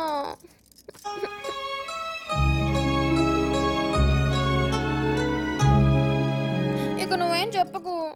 నీ సైన్మాల ఒక పాటకి గంతులేలనుంది నాకు పారి సైన్మాలు అగుపడాలనుంది బావా. రే అన్నా. కనిష్కాని తీసేసి సరళని హీరోయిన్గా పెట్టుకో. అన్నా అన్నా. కనిష్కకి ఆల్రెడీ అడ్వాన్స్ ఇచ్చామన్నా. మీ డబ్బులే. ఆ, పోనీ సరళ మేడంని మన వచ్చే సినిమాకి హీరోయిన్ అన్నా మీరే హీరోగా కూడా చేయొచ్చన్నా ఆ. తెలుగులో తొలి పరిచయం. ఒక లైలా మజ్ను ఒక గీతాంజలి ఒక గులాబీ ఒక అనార్కళి ఒక మరో చరిత్ర. అన్నా థ్యాంక్స్ ఫర్ కాంప్లిమెంట్ అన్నా. బావా నీ జతకు నేను తిరుగురువే హీరోయిన్ యాక్చువల్గా అలా చేయొచ్చు. మేడం కి కెమెరా ఫియర్ పోవటం కోసం ఈ సినిమాలోనే కనిష్క్ ఒక ఫ్రంట్ రోల్ క్రియేట్ చేసి ఆ రోల్ మేడం చేస్తే నువ్వెవడరా నా స్క్రిప్ట్లో క్యారెక్టర్ క్రియేట్ చేయడానికి? అసలు నీకు నా స్క్రిప్ట్కి సంబంధం ఏంట్రా? చంపేస్తాను ఎవడన్నా నా స్క్రిప్ట్లో ఎంటర్ అంటే చంపేస్తా. ఓయ్ అన్న అడ్డాలు ఎవరో రొద్దు అరుస్తే నెత్తి దగ్గర దీపం పెడతా. ట్యూన్ రెడీయా? Ready sir. ట్యూన్ రెడీయా? Ready sir ready. నా పేరు శ్రీశైలం నే చేస్తా రౌడీజం. ఉండేది దూల్పేట అడ్డ అడ్డొస్తే ఖతం బిడ్డ. చేసేది క్రిమినల్ దందా లోకల్గా పెద్ద దాదా. దోస్తీకి ప్రాణం ఇస్తా దుష్మన్కి ప్రాణం తీస్తా. నైట్ అయితే క్వార్టర్ కొడతా బోరైతే మర్డర్ చేస్తా.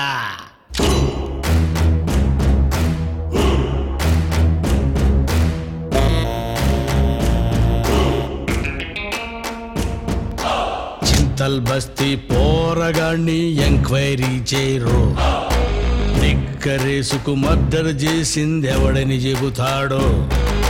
చెంచల్ కూడా జైల్ రిజిస్టర్ మొత్తం చూసుకో. ఎక్కువ సార్లు ఎస్కేప్ అయ్యింది ఎవడో తెలుసుకో. దావూదుని దాదా నసలు చేసిందెవడు రా స్మగ్లింగ్ని వీరప్పనికి నేర్పిందెవడు రా ఎవడు కాదు ఎవడో కాదు వన్ అండ్ ఓన్లీ శ్రీశైలం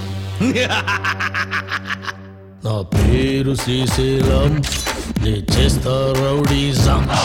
ఉండేది దూల్పేట అడ్డ. అడ్డొస్తే ఖతం బిడ్డ.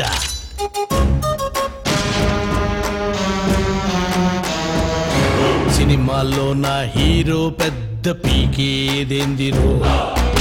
ఊపును పెట్టుకు ఫైట్ ఫిట్ చేస్తుంటాడు రో ఒరిజినల్లో శ్రీశైలం డేరింగ్ డాషింగ్ రో పంచి ఇస్తే ఎవడైనా సరే పైకి పోవాల్రో టైసన్ పళ్ళు రాలగొట్టింది నేను భాయే. బ్రూస్లీ బతికిపోయాడు చచ్చిపోయి. రౌడీజం కేర్ ఆఫ్ అడ్రస్ నేనే నేనే ఓన్లీ మైసెల్ఫ్ నా పేరు శ్రీశైలం. నే చేస్తా రౌడీజం. ఉండేది దూల్పేట అడ్డ. అడ్డొస్తే కథం బిడ్డ.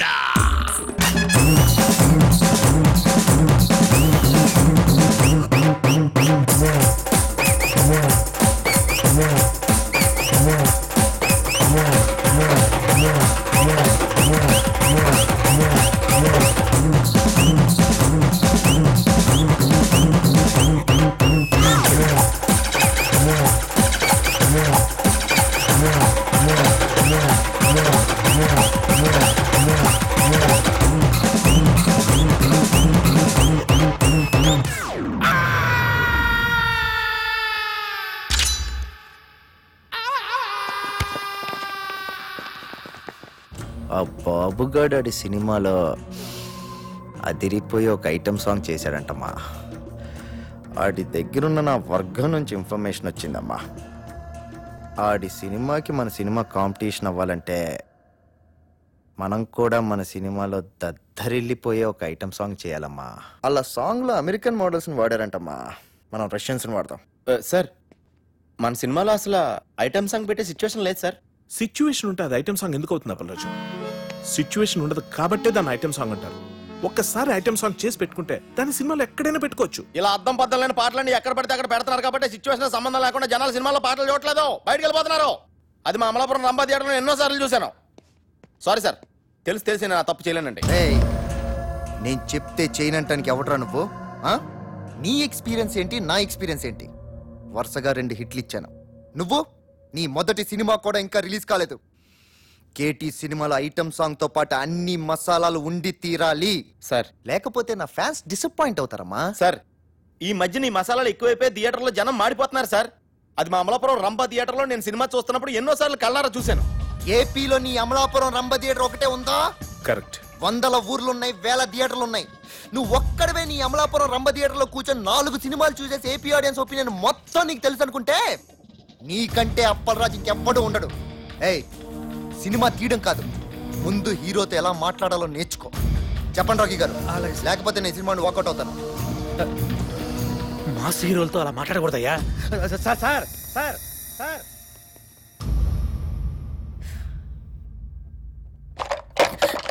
Appal Raju నువ్వేమనుకోనంటే తను చెప్పిన దాంట్లో కూడా నిజం లేకపోలేదు. ఫస్ట్ సినిమా డైరెక్ట్ చేసిన నీకేంత ఉన్నప్పుడు ఆయన స్టార్ కదా ఆయనకి ఇంకెంత ఉంటుంది చెప్పు? కృష్ణ టూరింగ్ టాకీస్లో నేల టికెట్ కొనుక్కుని సినిమా చూసేవాడు కొన్న కామన్ సెన్స్ కూడా లేదు ఆడికి. ఆడో టాప్ స్టార్ ఆడికో టాపిగో అంత సెన్స్ లేని వాడు అంత ఎత్తుకి ఎదగలేడు అప్పుల్ రాజు. నువ్వు అంత గట్టిగా మాట్లాడేసరికి అతని ఈగో హర్ట్ అయి ఉంటుంది. It happens try convincing him softly item song అనేది మన సినిమాలో ఉంటే కథాపరంగా ఎంత ప్రాబ్లం అనేది ఎక్స్ప్లెయిన్ చేసి చెప్పు. కూల్గా కన్విన్స్ చేస్తే డెఫినెట్గా ఒప్పుకుంటాడని నా ఫీలింగ్ అంతేనంటావా? ఎస్ సార్ నేను చెప్పేది ఒకసారి కామ్గా వినండి సార్. యాక్చువల్గా మన సినిమాలో మీ క్యారెక్టర్ హీరోయిన్ పడుతున్న కష్టాల నుంచి ఆమెను రక్షిస్తూ ఆఖరికి ఆమె కోసం మిమ్మల్ని మీరే అర్పించుకునే అంటే సూసైడ్ చేసుకునే గొప్ప క్యారెక్టరేషన్ సార్ మీది. అలాంటిది ప్రీ క్లైమాక్స్లో మీరు సూసైడ్ చేసుకునే ముందు రష్యన్ మోడల్స్తో ఐటమ్ సాంగ్ అంటే మీ క్యారెక్టర్ మిడిల్ డ్రాప్ అయిపోయినట్టే సార్. సార్. క్లైమాక్స్ని లీడ్ చేసే ఎమోషన్ మిస్ అయిపోతాం సార్. ఐటమ్ సాంగ్ కోసం మీ క్యారెక్టర్ని చంపేయడం కరెక్టేనా సార్? చెప్పండి. నువ్వు చెప్పేది correct Appalaraju thank you sir. ఓ పని చేద్దాం. ఏంటి సార్? క్యారెక్టర్ని మార్చేద్దాం. నాకు ఈ హీరో వద్దు ఈ సినిమా వద్దు ఈ డైరెక్షన్ ఛాన్స్ వద్దు. వెళ్ళొస్తాను నేను. అమలాపురం పోనే. ఏంటి? ఏంటా? పని చేతి హీరోని ఇచ్చి హీరోయిన్ ఇచ్చి శ్రీశైలం ఇచ్చి నువ్వు పోనవే. ఏదో నీకు బ్రేక్ ఇద్దామని ఇన్ని లింకులు సెట్ చేస్తే నా కొంప కొల్లర్ చేసి వెళ్ళిపోతున్నాడు నువ్వు. ఏమంటే మీ కొంప కొల్లేరు చేయడం నా ముఖ్య ఉద్దేశం కాదండి. ఈ సినిమాలో ఐటమ్ సాంగ్ పెడితే సినిమా కిల్ అయిపోద్ది. నువ్వు అమలాపురం పోనవే హైదరాబాద్ నుంచి అమలా ఐటమ్ సాంగ్ ఉండేది మూడు నిమిషాలు క్లైమాక్స్ ముందు కనుక సాంగ్ సినిమా సినిమా ఆగు, నువ్వు? ఉండవా, నీ గొడవ అప్పలరాజు రాఖీ గారు మీకోసం చాలా కష్టపడ్డారు అప్పలరాజు మీరు చెప్పమాట ఒకసారి వినొచ్చు కదా? అప్పలరాజు నన్ను అమలాపురం తీసుకెళ్తా తీసుకెళ్ళవా వద్దు నేనేం వెళ్ళను. అదే చెప్పేదాను. మనసు పెట్టి సినిమా తీయాలంటావు కదా? మనసు పెట్టి ఆలోచించు. అన్నింటి ఓవర్కమ్ చేసి ప్రాజెక్ట్ ఖర్చు చేయపోవాలి సినిమా ఆగిపోతే లేకపోతే అలాగే. ఏమయ్యా? ఇలా చిన్న శ్రీశైలం అనేది తీసుకొచ్చే డబ్బులు ఎవడిస్తాడయ్యా? ఎంతసేపు నా పాట నా కథ నా డైలాగులని గగ్గులు పెడుతున్నావు? నా మాట వినప్పరాజు ఒక్క ఐటమ్ సాంగ్ కోసం ఎన్ని జీవితాలు నాశనం చేస్తావయ్యా? Correct correct. నా కొంప నట్టేట్లో మునిగిపోతుంది. వినపట్లేదా నీకు? వినపట్లేదా ఆలోచించు బాగా. ఐటమ్ సాంగ్ బెటరా? హీరో క్యారెక్టర్ పాడు చేయటమా? ఏది బెటర్ మనకి? ఆలోచించు చెప్పలరాజు ఐటమ్ సాంగ్. రింగు రోడ్డు కాడ ఓసి రంగనాయికి బొంగులాంటి నిన్ను చూసి love దిల్లికి sir excuse sir. Sir fantastic lyrics sir. ఎంత బాగా పాడారు సార్. సార్ చూడండి సార్ మ్యూజిక్ చేస్తారు. నారే నారే నారే తండ్రి నారే నారే. సూపర్ అన్న. ఆత్రే బతుకుంటే ఈ పాట విని చచ్చేవాడు వాళ్ళెవరా? ఆ, ఇలాంటి కవే కవి కవి. అరే, అరే, అరే, అరే, ఏం పాట అన్న? అది అప్పలేదు ఈ ఒక్క పాట కాదయ్యా మన సినిమా Stop! సూపర్ హిట్ అవ్వడానికి. రింగ్ రోడ్డు కాడ? రంగనాయక. యా. బొంగు లాంటి నిన్ను చూసి లవ్ దిల్లా. ఏం లైన్ అన్నది అసలు ఎలా నచ్చిందండి ఇది మీ అందరికి? మతుండే రాశాడైనా ఇది లిరికా రేయ్! అన్న దమాక్ లేదంటావురా అంత మంచి పాట రాస్తే ఇక్కడే ఇప్పుడే నీ దినం పాట మా అన్నతోటి రాపిస్తా. ఆ నా ఆడరే అని నువ్వు ఏయ్!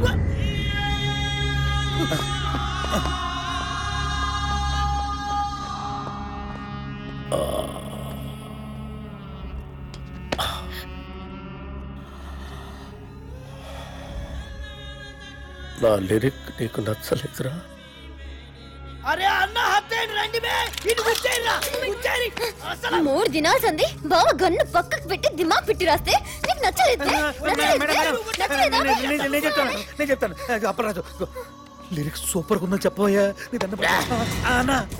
ఐటమ్ సాంగ్ రాయమన్నావు కదరా. ఆ, అన్న నాన్న కాకపోతే లిరిక్లో కొంచెం చేంజెస్ ఉంటే బాగుంటుందని అప్పలరాజు ఉద్దేశం. అంతే కదా అప్పలరాజు. ఏయ్! అన్న.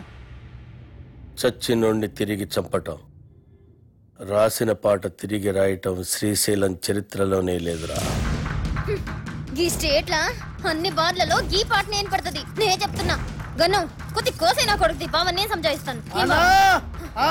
ఆయనకి తెల్ల బట్ట కప్పేస్తా. రేస్ ఏసైరా సాలేకో? పాట బాగుందని చెప్పాయా పాట బాగుందని చెప్పు. ఓకే అని సార్.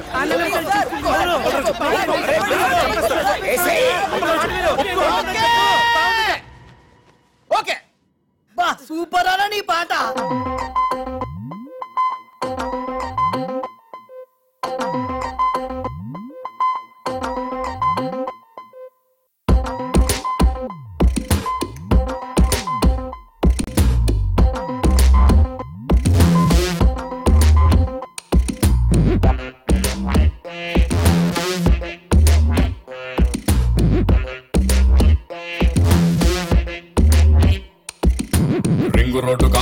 రంగనాయకి పొంగులాంటి నిన్ను చూసి లవ్వు దిల్లుకే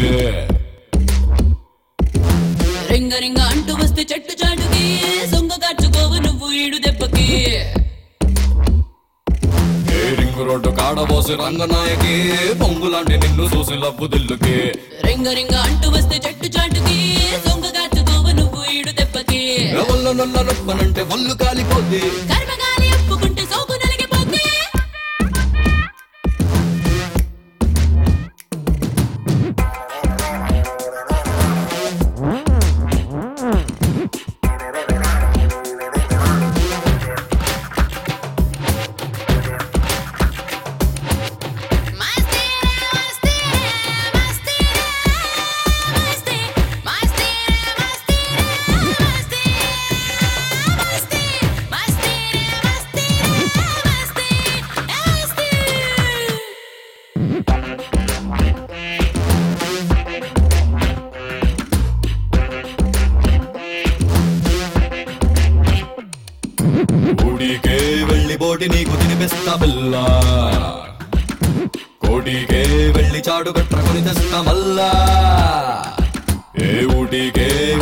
బోటి నీకు తినిపిస్తా పిల్ల కోడికే వెళ్ళి చాటు కట్టుకొని తెస్తా మల్లా మగనివైతే తిరుగుతెళ్ళి గుండిచ్చేస్తా బావా. వీలు చూసి విదేశాలు నాకు చూపించేస్తావా బుర్ర మల్లె వయసు నాలో రంకెలేస్తుంది సర్రమంటూ చూడకుండా చేసుకోర పెళ్ళే. పోసి రంగనాయకే రంగనాయకి బొంగులాంటి నిన్ను చూసి లవ్వదిల్లుకే. రింగ రింగ అంటూ వస్తే చెట్టు చాటుకే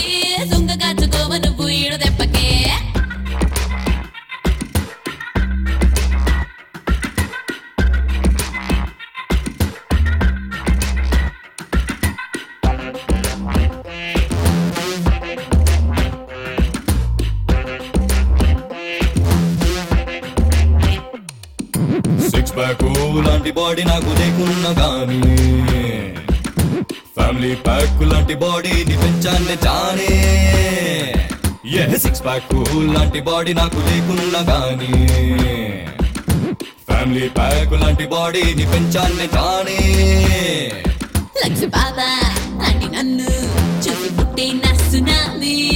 హట్టులోన లవ్వు జబ్బు చెప్పిందే నీ కహాని. ఎప్పుడెప్పుడంటుంది కొత్త మేజువాణి అప్పనంగా దొరికిందని లాగా మాకు ఓడి. రింగు రోడ్డు కాడబోసి రంగనాయకి బొంగులాంటి నిన్ను చూసి లవ్వు దిల్లుకే రింగ రింగ అంటూ వస్తే సెట్టు సాడుకి సొంగ కాచుకోవ నువ్వు ఈడు దెబ్బకి. పొల్ల నొల్ల నొప్పనంటే పొల్లు కాలిపోతే.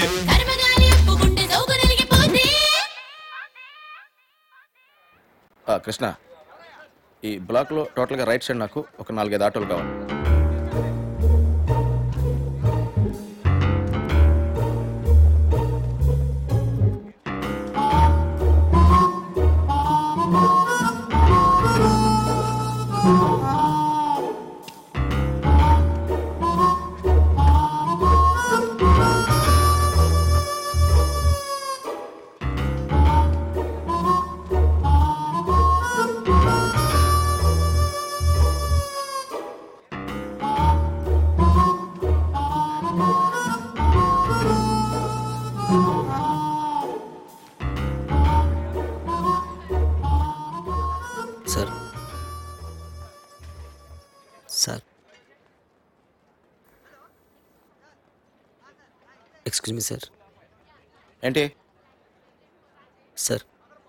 సార్ సార్ నన్ను చూస్తుంటే ఎవరు కుదరట్లేదు సార్?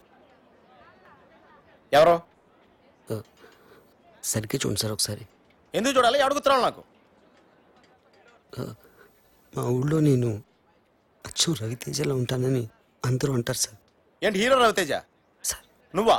సార్. ఎక్కడెక్కడి నుంచో వచ్చేస్తారయ్యా. సరే పోను ఉన్నావు అనుకో ఏం చేయమంటావు నన్ను?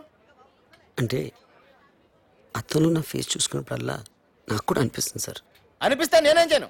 అంటే అతనికి బదులుగా వద్దామని చేద్దామని. చూడు నాది డూపుల్ని పెట్టి తీసే సినిమా కాదు. నా సినిమా ఒరిజినల్.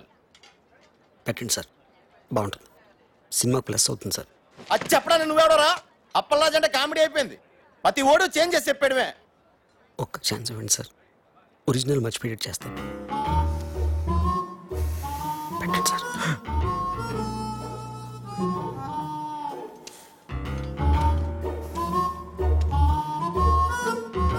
రా కూర్చో రా. రా. కూర్చో.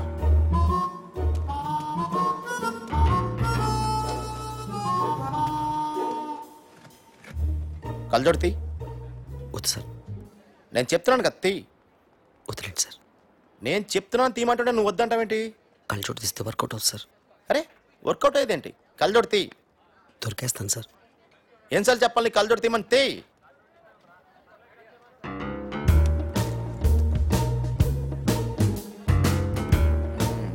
తేడాయే చెప్పాను కదా సార్. ఇప్పుడు రవితేజలో యాక్ట్ చేయడానికి రవితేజ ఉన్నాడు కదా నువ్వెందుకు? రవితేజ డేట్లు దొరకడం కష్టం కదా సార్. చూడు బాబు నా సినిమాలో రవితేజకే క్యారెక్టర్ లేదు. రవితేజ డూప్కి ఎక్కడి నుంచి ఉంటుంది? ఒక ఛాన్స్ ఇవ్వండి సార్. మ్మ్, బయలుదేరు. ఒక ఛాన్స్. చెప్పేది అర్థం కావట్లేదా? వెళ్ళు. సార్. వెళ్ళమంటున్నానా? తయారైపోతారు ఊరికే రాయ్ రవితేజ ఒరిజినల్ నువ్వు డూపు. ఆడు నీకు డూపుగా చేసే రేంజ్కి ఎదగడానికి ట్రై చేయి. అంతేగాని నువ్వు వాడికి డూపుగా చేయాలనుకోకు. నీ పేరేంటి? టి సుబ్రహ్మణ్యం. ఎవరు? అమలాపురం. అమలాపురం. మా ఊరే. చూడు. అమలాపురం వెళ్ళి నిన్న మంచి ఉద్యోగం చూసుకో. ఇలాంటి పిచ్చి పిచ్చి కళ్ళ కంటం మానే ఫస్ట్.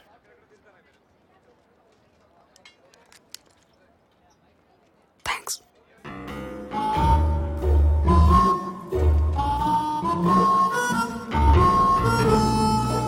రేటు మీరు ఫిక్స్ చేస్తే రేటింగ్ నేను ఫిక్స్ చేస్తా. అప్పలరాజు గారి సినిమా చెడగొట్టాలి. వాడి సినిమా. వాడి కథ ఆ కేటీ కనిష్క కాంబినేషన్. అన్నిటి మీద బ్యాట్ టాక్ స్ప్రెడ్ చేయి. ఓ కనెక్షన్ కనిష్క. రాఖీ గారు నేను మీడియాని మాట్లాడుతున్నాను. మా గ్యాంగ్ అందరికి పార్టీ ఎప్పుడు ఇస్తున్నారు? పలాజు ఈయన ఈవి గారని సీనియర్ మోస్ట్ జర్నలిస్ట్ పెద్ద క్రిటిక్ సినీ జర్నలిజానికి గాడ్ ఫాదర్ చూడప్పలరాజు ఒక క్రిటిక్ జాబ్. సినిమా తీసేవాళ్ళ నుంచి చూసేవాళ్ళని రక్షించటం.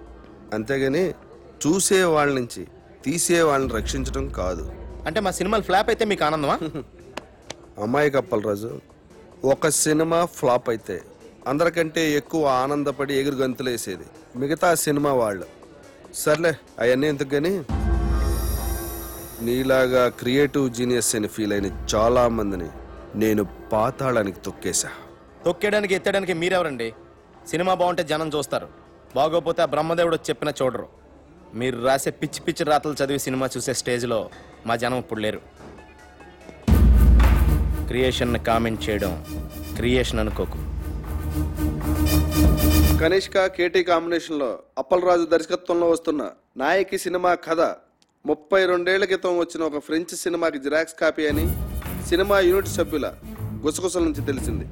ఈ సినిమాలో సాంగ్ ట్యూన్స్ అన్నీ లేటెస్ట్ యూరోపియన్ మ్యూజిక్ ఆల్బమ్స్ లోంచి యాజ్ ఇట్ ఈజ్గా లేపేసినవే అని సినీ వర్గాలు నోళ్ళు నొక్కుంటున్నాయి కేటీ కనిష్కల కాంబినేషన్ స్టిల్స్లోనే పరమ చెత్తగా ఉందని బాబు గారు కనిష్కల సూపర్ హిట్ కాంబినేషన్కి నీరాజనాలు పట్టిన జనం కనిష్క పక్కన కేటీని ఊహించుకోలేకపోతున్నారని సార్ ఏంటి సార్ ఇదంతా.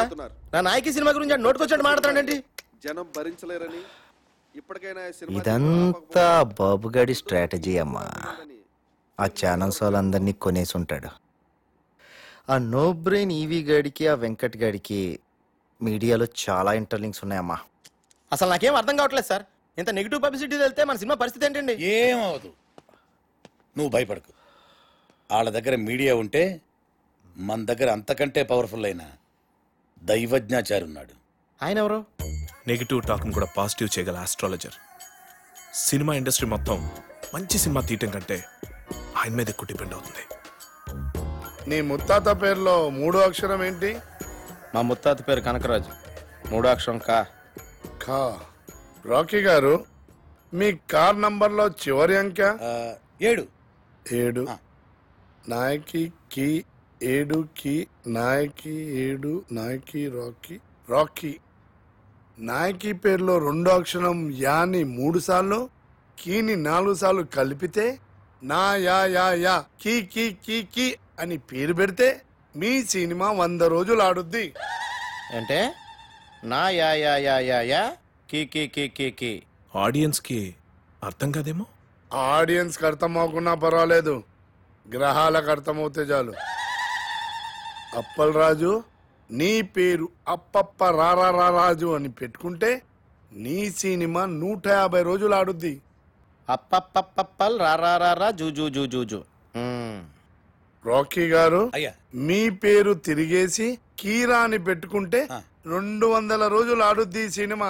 మీ పేరు కూడా మార్చేసుకుని దైవజ్ఞాచారి బదులు అజ్ఞానాచారి అని పెట్టుకోండి. మా సినిమా సంవత్సరం ఆడుతుంది మీరు రెండు వందల సంవత్సరాలు బతుకుతారు. మూర్ఖుడా! శాస్త్రాన్ని అవమానిస్తున్నావు. శపించానంటే నీ నాయకి అన్యాయం అయిపోతుంది. మీరు ఎంత అరిచినా నా సినిమా పేరు నాయకి నా పేరు అప్పలరాజు. అందులో ఏ విధమైన మార్పు ఉండదు. రాఖీ గారు కావాలంటే మీరు పెట్టుకోండి. కేరానో పకీరానో. ఇంకా నయం సినిమాని గ్రహాలే చూపించమల్లా గురుగారు, మనిషి మంచోడేనండి కాకపోతే అమాయకుడు. తప్పదు మీరు క్షమించాలి. ఆడి సినిమాలో ఐటమ్ సాంగ్ మన సినిమాలో ఉన్న ఐటమ్ సాంగ్ కంటే పెద్ద హిట్ అయింది. ఎక్కడ విన్నా అదే పాట. ఆఖరికి కార్లో కూర్చున్నప్పుడు నా డ్రైవర్ గారు రింగ్ టోన్ కూడా రింగ్ రోడ్డు కాడ సిరంగనాయకి బొంగులాంటి నిన్ను చూసి. సరే.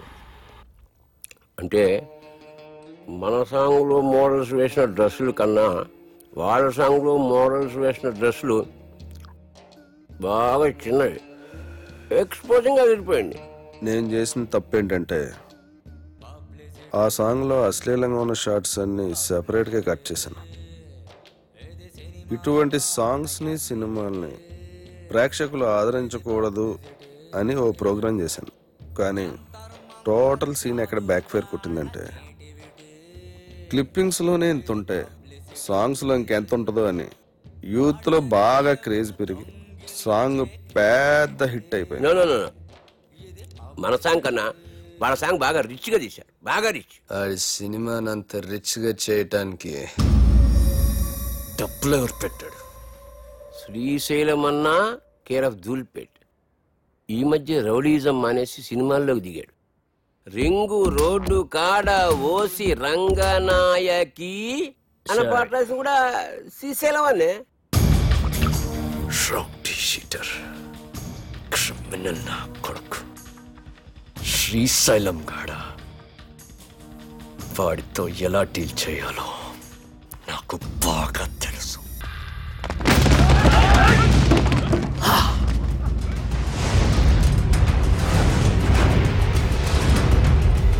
తెలుసు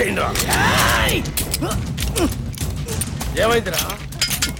ఏమైందిరా? దీని పనిలేదు కదా నా? కొబ్బరి నూనె వేసి మర్చిపోయినా?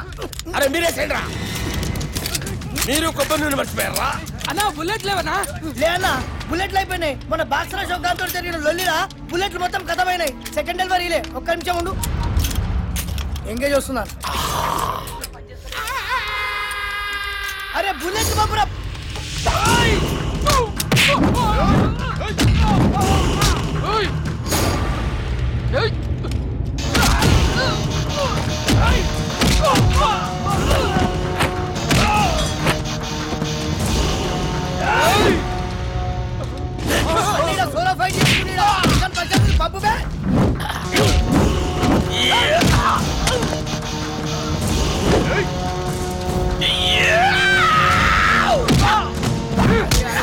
ఫైట్ చేసుకుని పప్పు బే సినిమా ఖరాబ్ అవుతుంది తొందరగా పంపురా? ఆడు మనోడే అన్న. మనోడా? అవ్వనా? నీ మీద అటాక్ జరగట్లే కదన్నా? ప్రాక్టీస్ పోతుంది నేనే అరేంజ్ చేసిన. అరే మెంటల్ సత్తి అన్న కాళ్ళకి దండం పెట్టు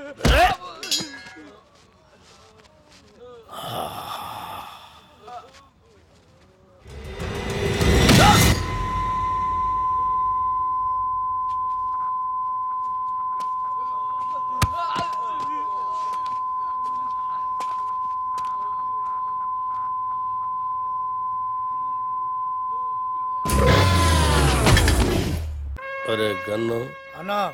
ఎవడు నన్ను వేయటం లేదని ఏదో రోజు నువ్వే నన్ను వేసేటట్టున్నావురా. ఖచ్చితంగా అన్నా. నిన్నేసి నన్ను నేను వేసుకుంటా. అదేంట్రా? అరే ఇన్నేళ్ళ సంది నేను నీ దగ్గర పని చేస్తున్నా ఒక్కడు నిన్న ఏనికి రావట్లే. నా డ్యూటీ ఎందుకన్నా వేస్ట్? అన్నా శ్రీశైలం అన్నా. అన్నా శ్రీశైలం అన్నా. అన్నా అన్నా అన్నా. పెద్ద ప్రాబ్లం వచ్చి పడిందన్నా. ఏమైందిరా? ఆ కమిషనర్ గారు నన్ను పిలిచి వార్నింగ్ ఇచ్చారన్న వార్నింగ్ ఏంట్రా? ఎవరో కమిషనర్ గారికి నా సినిమా మొత్తం ఫైనాన్స్ అంతా అండర్ గ్రౌండ్ నుంచి వచ్చిందని కంప్లైంట్ ఇచ్చాడంటన్నా. ఆ బాబు గారికి కమిషనర్ గారి దగ్గర పరిచయం. బహుశా ఆడే ఈ ఫిట్టింగ్ పెట్టుంటాడని నా అనుమానం. అన్నా ఇప్పుడు గనక మీ పేరు ప్రెజెంటర్గా వేస్తే మీతో సంబంధం ఉన్న అందరినీ తీసుకెళ్ళి జైల్లో పెట్టించడం ఖాయమన్నా. ఒక క్రిమినల్ మంచివాడిగా మారితే సహించలేదురా ఈ సమాజం. నా చేతిలో పెన్నుంటే తట్టుకోలేకపోతుందిరా. పెన్నుని గన్నుగా మార్చి నా కట్టొచ్చిన వాళ్ళందరినీ వేసేసి వాళ్ళ మీద చావు పాటలు రాస్తాను రా అన్నా సినిమా చాలా బాగా వచ్చిందన్న మీ పాట కూడా పెద్ద హిట్ అయిపోయింది. ఇప్పుడు మీరు ఆవేశపడి మద్దలు చేశారంటే మీ పాటకున్న క్రేజ్ మొత్తం పోయి సినిమా కూడా ఆగిపోద్ది. అప్పుడు మేమందరం గన్నులు పట్టుకుని రౌడీలుగా మారిపోయి మీ వెనకాల తిరుగుతూ ఉండాల్సిందేనన్నా. ఆ, మరిప్పుడు ఏం చెయ్యాలరా? సింపుల్ అన్న. ప్రొడ్యూసర్గా మీ పేరు ఉండకూడదు కాబట్టి దైవజ్ఞాచారితో మాట్లాడి శ్రీశైలం అన్న పేరుని ఏ తిరుపతి అన్నవరం మార్చిస్తే బెటర్! అన్నకు పెట్టిన పేరు నచ్చలేదని వాళ్ళ నాయననే లేపేసి శ్రీశైలం అని పెట్టుకుంటారు అన్న పేరు అంత గొప్ప పేరు మార్చమంటావరా? అన్న ఆర్డర్ అన్న వీళ్ళ బాడీలకు బరాతిస్తా అన్నా అన్నా అన్నా పోనీ ఓ పని చేద్దామన్నా ఈ సినిమాకి ప్రెజెంటర్గా మీ పేరు తీసేసి మీ గర్ల్ ఫ్రెండ్ సరళక పేరు పెట్టించేస్తానన్నా ఆస్తులు బినామీ పేరు మీద ఉన్నట్టు ఈ సినిమా అక్క పేరు మీద నడిపించేద్దాం. నడిపించేద్దామన్నా? ఒక్కసారి పోలీస్ ప్రాబ్లం అంతా క్లియర్ అయిపోయాక అప్పుడన్నా అప్పుడు ప్రెస్ మీట్ పెట్టి మొత్తం అందరికి నేనే చెప్పేస్తాను. మా శ్రీశైలం అన్నే ఈ సినిమాకి బ్యాక్ బోన్ అని. అన్నా అప్పటిదాకా మీరు అండర్ గ్రౌండ్లో ఉంటే ఈ సినిమా అప్పర్ గ్రేడ్ అయిపోద్దన్నా? ఆ? అన్నా. కనీసం. నా పాటలకైనా నా పేరు పెడతారా? స్టార్టింగ్ టైటిల్స్లోనే కాదన్నా. ఎండింగ్ టైటిల్స్లో కూడా మీ పేరే వేస్తాను. అంతెందుకు? ఈ ఇంటర్వెల్ కార్డు కూడా తీసేసి అక్కడ కూడా మీ పేరే వేస్తాను. ఆ? అవునన్నా?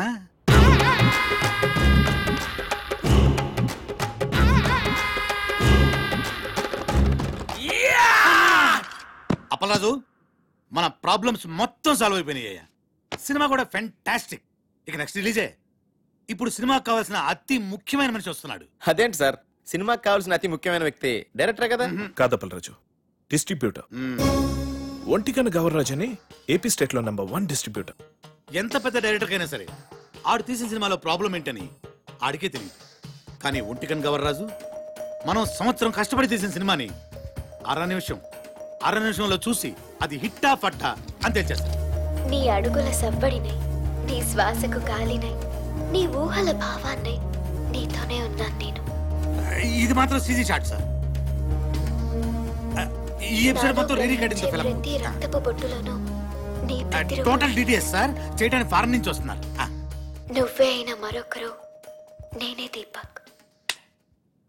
ఎలా ఉంది సార్ ప్రోమో? చూసే వాళ్ళకి ఈ ప్రోమోలో ఏమీ లేదనిపిస్తుందా? ఏమీ లేదా?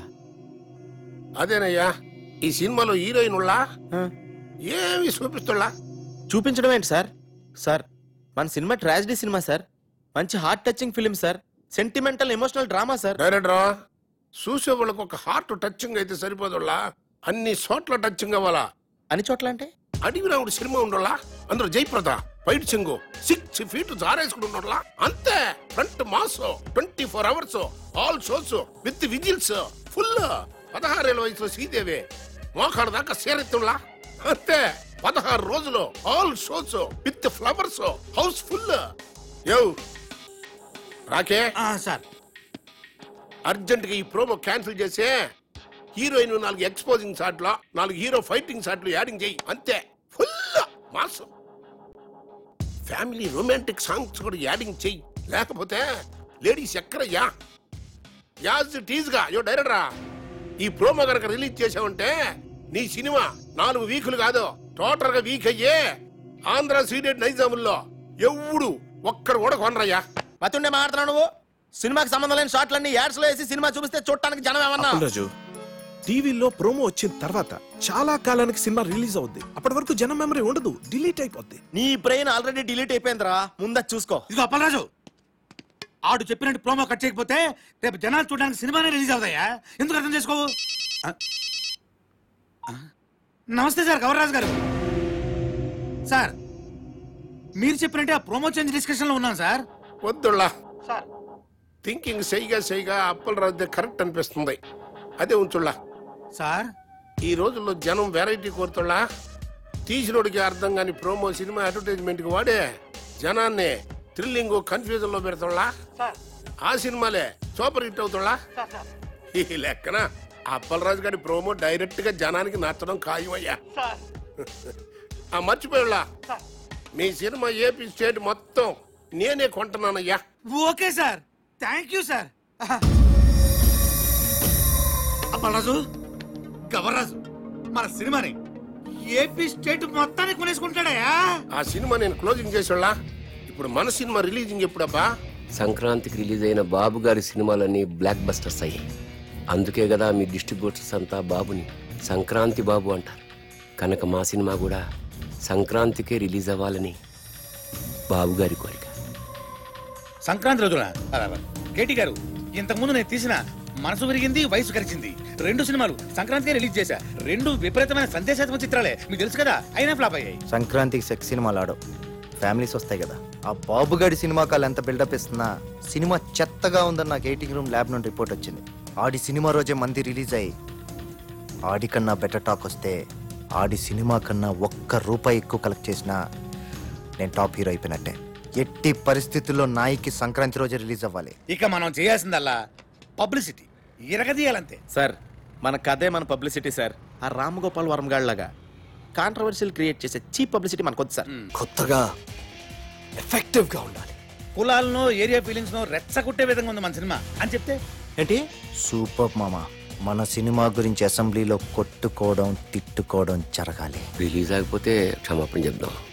అప్పటికి కాదంటే సీన్ తీసేద్దాం. తర్వాత అవే సీన్స్ ఇంటర్నెట్లో ఫ్రీగా పెడతాం.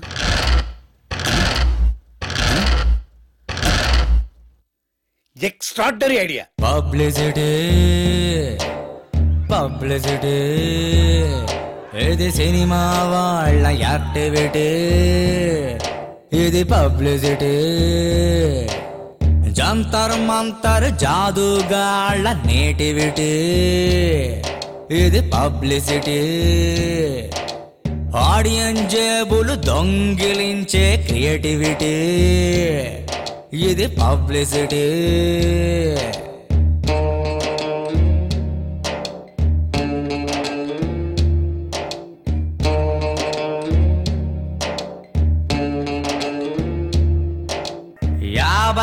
లక్షల సినిమా తీసి యాభై కోట్ల బిడప్పు. ట్యాంకు బండులో పాటలు తీసి న్యూజిలాండ్ అని మేకప్ చీరే సారే ఫ్రీగా ఇస్తాం రమ్మ రమ్మ. బంపర్ ఆఫర్లు ఎన్నో ఉన్నాయి హాలుకి రండంటూ. పంగనామం పెడుతుంటారు వింటూ పోతుంటే.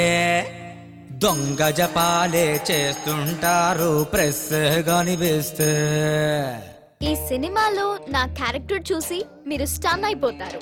ఒక సినిమాని ప్రొడ్యూసర్ ఎంత ప్యాషన్తో తీయాలో. కథ విన్నప్పుడు బాగుందనుకున్నాను కానీ డైరెక్టర్ గారు టేకింగ్ ఎరగదీశారు. ఆడియన్స్ పల్స్ దృష్టిలో పెట్టుకుని వాళ్ళకి కావలసిన మసాలాలని సమపాళ్ళలో కూరి మరీ తీసాం ఇంటర్నేషనల్ ఇన్స్పైర్స్ తోటి ఇండియన్ మ్యూజిక్ చేశాం. ఏ రెహమాన్ బ్యాగులు సర్దుకొని ఇంటికి వెళ్ళిపోవచ్చు. ఈ సినిమా ఆడే ప్రతి థియేటర్లో లక్కీ డిప్ ద్వారా ఒక విన్నర్ని సెలెక్ట్ చేసి ఆ విన్నర్కి కనిష్క గారితో ఒక రోజు గడిపే ఫస్ట్ డే మా సినిమా చూసిన ప్రతి మహిళకి ఒక చీర ఫ్రీ మనసు పెట్టి తీశాను. మనసున్న ప్రతి మనిషిని నా సినిమా కదిలిస్తాను సెంటిమెంట్కి ఎంటర్టైన్మెంట్ మిక్సింగ్ చేశామని చెప్పి ఎవరు చూడని లొకేషన్లలో షూటింగ్ చేశామని చెప్పి కోరినవన్నీ ఉన్నాయంటూ ప్రకటనలిచ్చేస్తూ. చచ్చి కడుపున పుడతాం బాబు సినిమా చూడంటూ ఆడని సినిమా ఆడిందంటూ డప్పే కొడతారు. విజయ యాత్రలని ఖాళీ థియేటర్లకెళ్తూ ఉంటారు. Publicity publicity. ఇది సినిమా వాళ్ళ యాక్టివిటీ. ఇది పబ్లిసిటీ. జంతర్ మంతర్ జాదుగాళ్ళ నేటివిటీ. ఇది పబ్లిసిటీ. ఆడియన్స్ జేబులు దొంగిలించే క్రియేటివిటీ.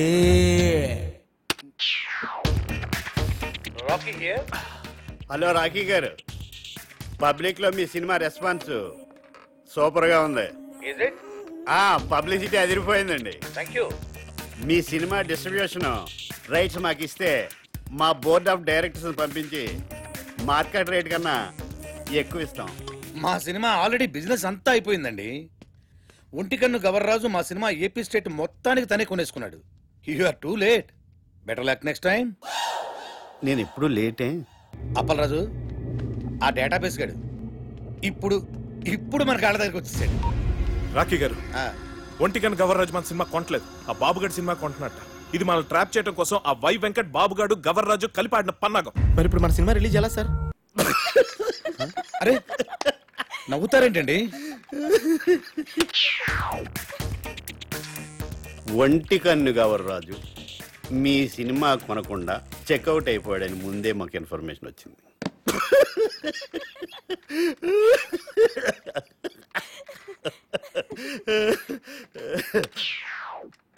ఆయన కొన్న సినిమా మేము కొని రిలీజ్ చేయాలంటే స్టేట్లో సెవెంటీ పర్సెంట్ ఓవర్సీస్లో ఎయిటీ పర్సెంట్.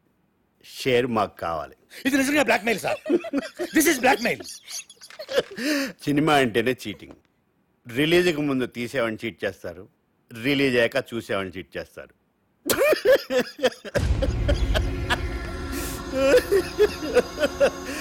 సరే. అది పక్కన పెట్టండి. మేం తప్ప మీ సినిమాని ఎవ్వరూ రిలీజ్ చేయలేదు. మా బోర్డ్ ఆఫ్ డైరెక్టర్స్ వచ్చి మీ సినిమాని ఫ్రీగా ఇస్తేనే రిలీజ్ చేస్తామని ఓ మాట చెప్పకముందే మీరు డేషన్కి వచ్చి రేట్ చెప్పండి. సార్ సంక్రాంతికి మన సినిమా రిలీజ్ అవ్వాలంటే ఏదో చెప్పండి సార్. ఒప్పుకోండి సార్ ప్లీజ్ సార్. సార్ సంక్రాంతికి రిలీజ్ చేస్తే బాగుంటుందేమో అండి. మ్మ్, సారీ సార్ సంక్రాంతి రిలీజ్ చేయలేం. సమ్మర్ హాలిడేస్కి ఓకే. సంక్రాంతి ప్రాబ్లం ఏంటి సార్? బాబు వై వెంకట్ కాంబినేషన్లో వచ్చే సినిమా మీద మీ సినిమా రిలీజ్ చేయడం కంటే సంతలో నెగిటివ్ అమ్ముకోవటం బెటర్.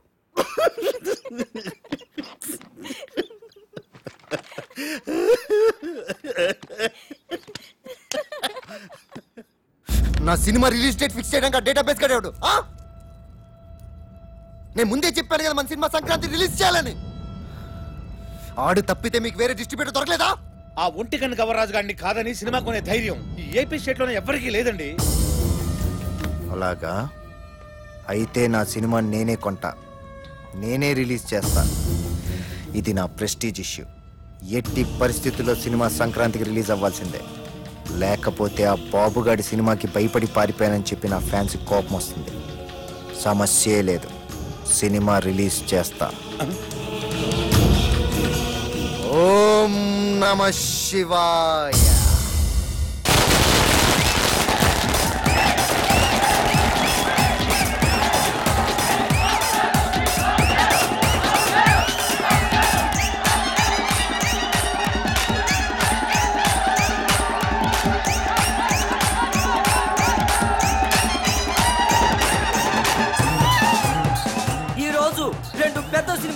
బాక్సాఫీస్ ముందు పోటీ పడ్డాయి. అందులో ఒకటి బాబులకే బాబు అయిన బాబు గారు ప్రముఖ దర్శకుడు వై వెంకట కాంబినేషన్లో వచ్చిన ప్రాణం తీస్తా.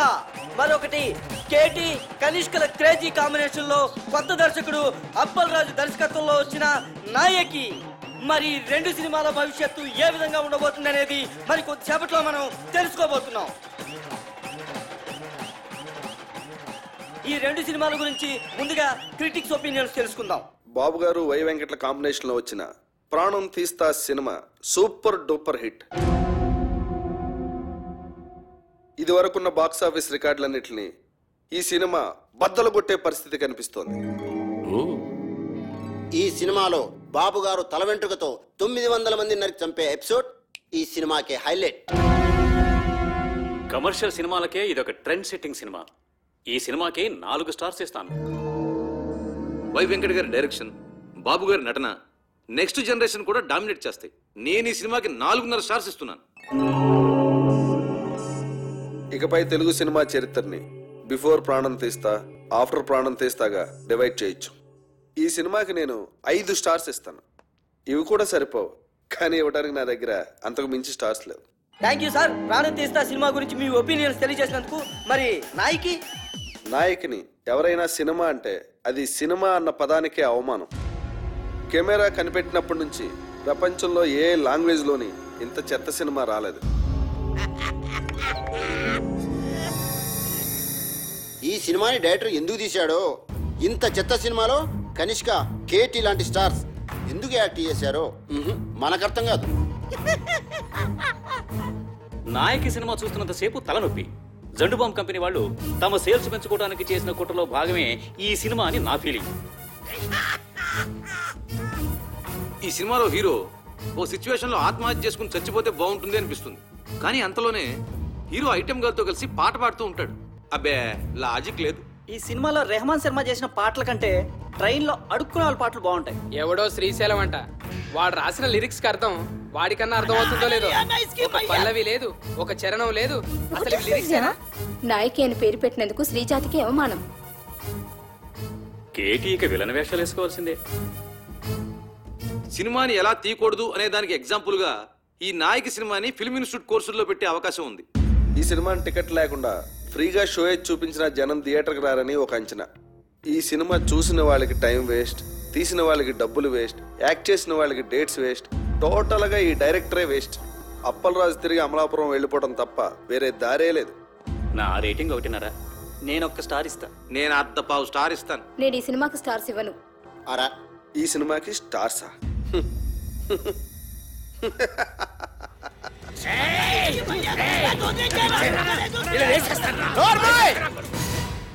వాళ్ళు మాట్లాడిన దాంట్లో తప్పే ఉంది. నీ పాటలు వాళ్ళు చెప్పిన దానికంటే పరమ చెత్త. అన్న పాటలంట అవరా బా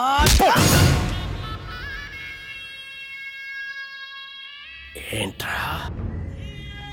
నా పాటలే బాగలే ఉంటావురా? నాకు దిమాగ్ ఖరాబ్ అయిందంటే చంపేస్తాను నా కొడక. ఓకే. నీ ముఖానికి పాటలు కావాలరా? చెత్త చెత్త చేసావు నా సినిమాని. రై లే! నువ్వు నీ ముఖానికి నువ్వు హీరో. ఐటమ్ సాంగ్ వద్దురా మగడా నెత్తి నోరు కొట్టుకుని చెప్తున్నా వినకుండా పెట్టించావు. చూడు ఇప్పుడు ఏం జరిగిందో. అది కాదు అప్పలరాజు సెక్స్ సినిమాలు తీసుకునే నువ్వు నా నాయకిని కూనీ చేయడానికి పుట్టావురా. నీకు తోగ్గాడంటాడు ఆడెక్కడా? రాయ్ ఇలా రా! ఈడో పెద్ద క్రియేటర్లా పోజు పెట్టి అడ్డమైన సలహాలు నాకు చెప్పి నన్ను ప్రతి విషయంలోనూ కాంప్రమైజ్ చేయించి అసలు నా సినిమాలో ఏవైతే ఉండకూడదని నేను అనుకున్నానో అవన్నీ పెట్టించి. అసలు నేను అనుకున్న కథ ఏంటి? తయారైన సినిమా ఏంటి?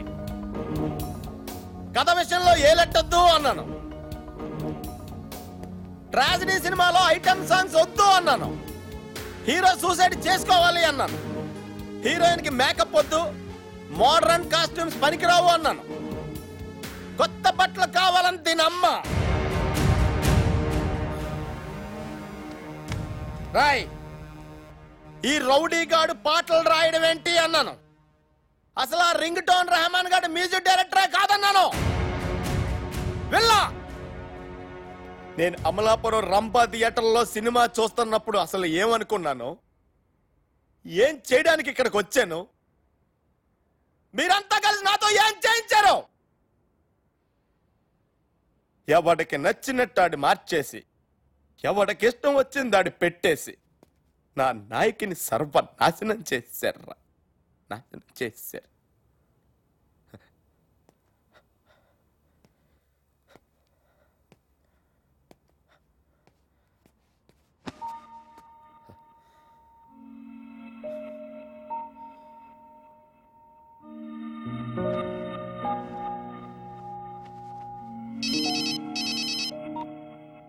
హలో? రాఖీ గారు కంగ్రాట్స్. మీ cinema super duper hit. Babu గారు యాక్ట్ చేసిన ప్రాణం తీస్తా. డిజాస్టర్. దానికి షో షోకి కలెక్షన్లు పడిపోతున్నాయంట. మన సినిమాకి షో షోకి కలెక్షన్లు పెరిగిపోతున్నాయట. బ్లాక్లో మన సినిమా టికెట్ వెయ్యి రూపాయలకు కూడా దొరకటం లేదట. రిపీట్ ఆడియన్స్ జనం గోల కేకలు. అరుపులు. ఏమండి మేము అసలు డల్ మూడ్లో ఉంటే మధ్యలో మీ జోక్స్ ఏంటండి? జోక్ ఏంటండి? మీరు టీవీ పెట్టుకోండి మీకే తెలుస్తుంది.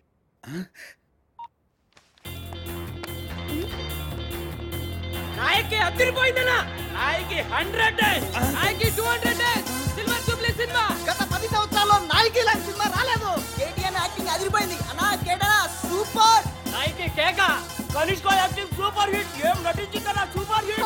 ఆయన ఎవరో కొత్త రైటర్ శ్రీశైలం అన్న రాసిన songs అదిరిపోయినాయి. Super super Appal Raju direction super కాదు సూపర్ డూపర్ ఈ డైరెక్షన్ సూపర్ ఈ సినిమాలో రెహమాన్ శర్మన్ చూసి ఏ రెహమాన్ నేర్చుకోవాలి పది సంవత్సరాలుగా రింగు రోడ్డు లాంటి పాట రానేలేదు. రింగు రోడ్డు కాడ పోసి రంగనాయకి ఐటమ్ సాంగ్ ఉంటేనే సినిమా సూపర్ డూపర్ హిట్ అవుతుందని చెప్పానా? నేను మోడర్న్ డ్రెస్ వేస్తేనే జనం చూస్తారని చెప్పానా? రింగ్ రోడ్ సాంగ్ చెప్పానా? సిచ్యువేషన్ లేని సాంగే హిట్ అవుతుందని చెప్పానా? సినిమాకి లాజిక్ అక్కర్లేదని చెప్పానా? హీరో సూసైడ్ చేసుకోపోతేనే సినిమా సూపర్ హిట్ అవుతుందని చెప్పానా? ఆడియన్స్కి బార్ డాన్స్ లే కరెక్ట్ అని చెప్పలే. కొత్త రకం స్క్రీన్ ప్లే వద్దని చెప్పానా? ఆంగ్లం తెలుగు సినిమా ఇచ్చేస్తుందని చెప్పాను కదా సార్. నాకు నచ్చితేనే హిట్ అని చెప్పానా? చెప్పావు నేనేం చెప్పలేదే.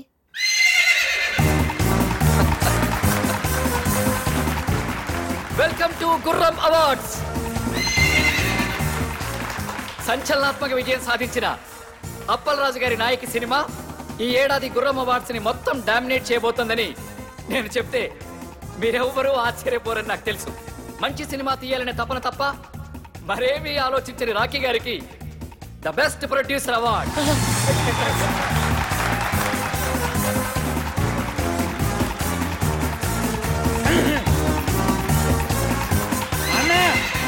నీకోసం థ్యాంక్ యూ థ్యాంక్ యూ చావు పాటని పుట్టిన పిల్లాడి అరుపుతో రీమిక్స్ చేసి ఆల్ టైమ్ మ్యూజికల్ హిట్ చేసిన సంగీత బ్రహ్మ రహమాన్ శర్మ గారికి బెస్ట్ మ్యూజిక్ అవార్డ్.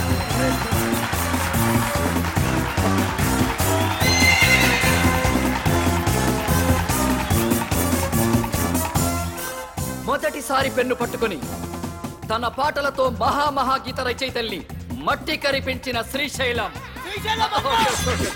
శ్రీశైలం అన్న! Dynamic lyric writer. రేపటి సినీ పాటల కేర్ ఆఫ్ అడ్రస్ శ్రీశైలం అన్నకి ఉత్తమ పాటల రచయిత అవార్డ్. రింగు రోడ్డు కాడ రంగనాయకి అనే పాటకి ఈ award.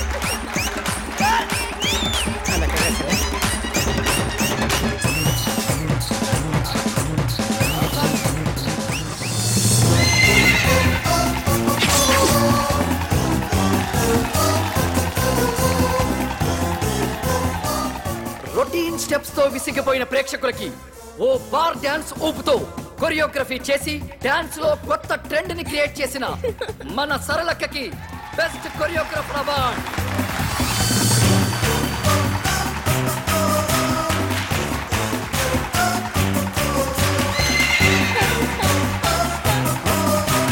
thank you thank you Saralakka తన క్రియేటివ్ థాట్స్తో బ్రిలియంట్ ఆలోచనలతో కథకి ప్రాణం పోసి క్రియేటివిటీ అనే మాటకి కొత్త అర్థం చెప్పిన creative genius creative head Pushpanand గారికి స్పెషల్ జ్యూరీ అవార్డు.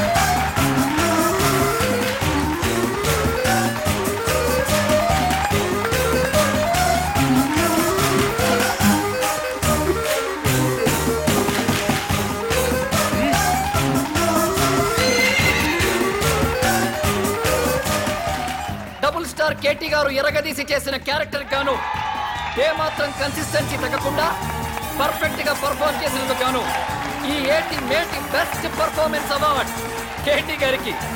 కేటీ గారు please welcome to the dance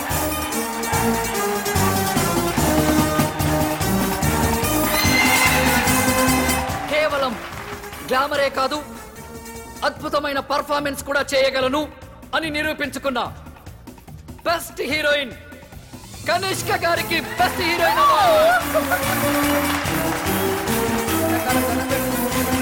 Uh,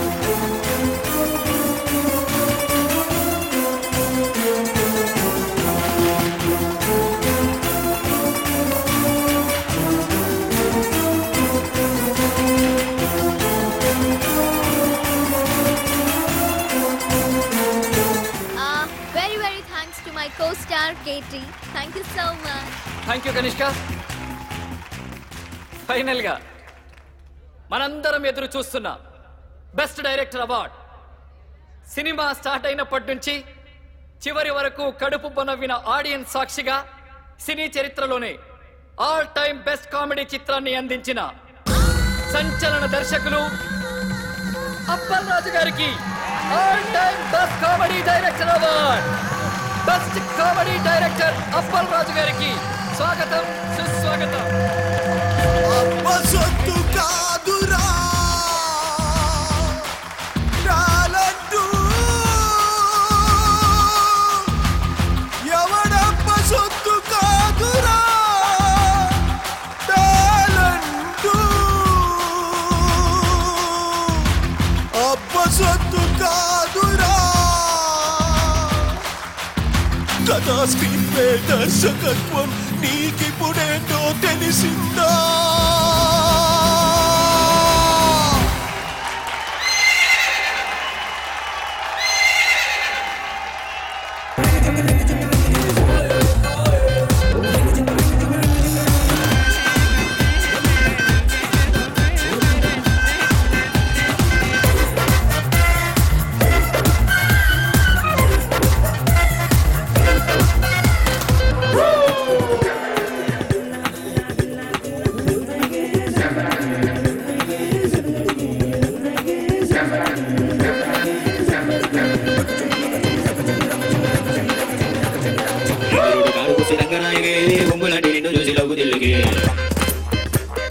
రింగా రింగా అంటూ వచ్చే చెట్టు సాడికి చంప దాచుకోవాలి నీళ్ళు దెబ్బకి.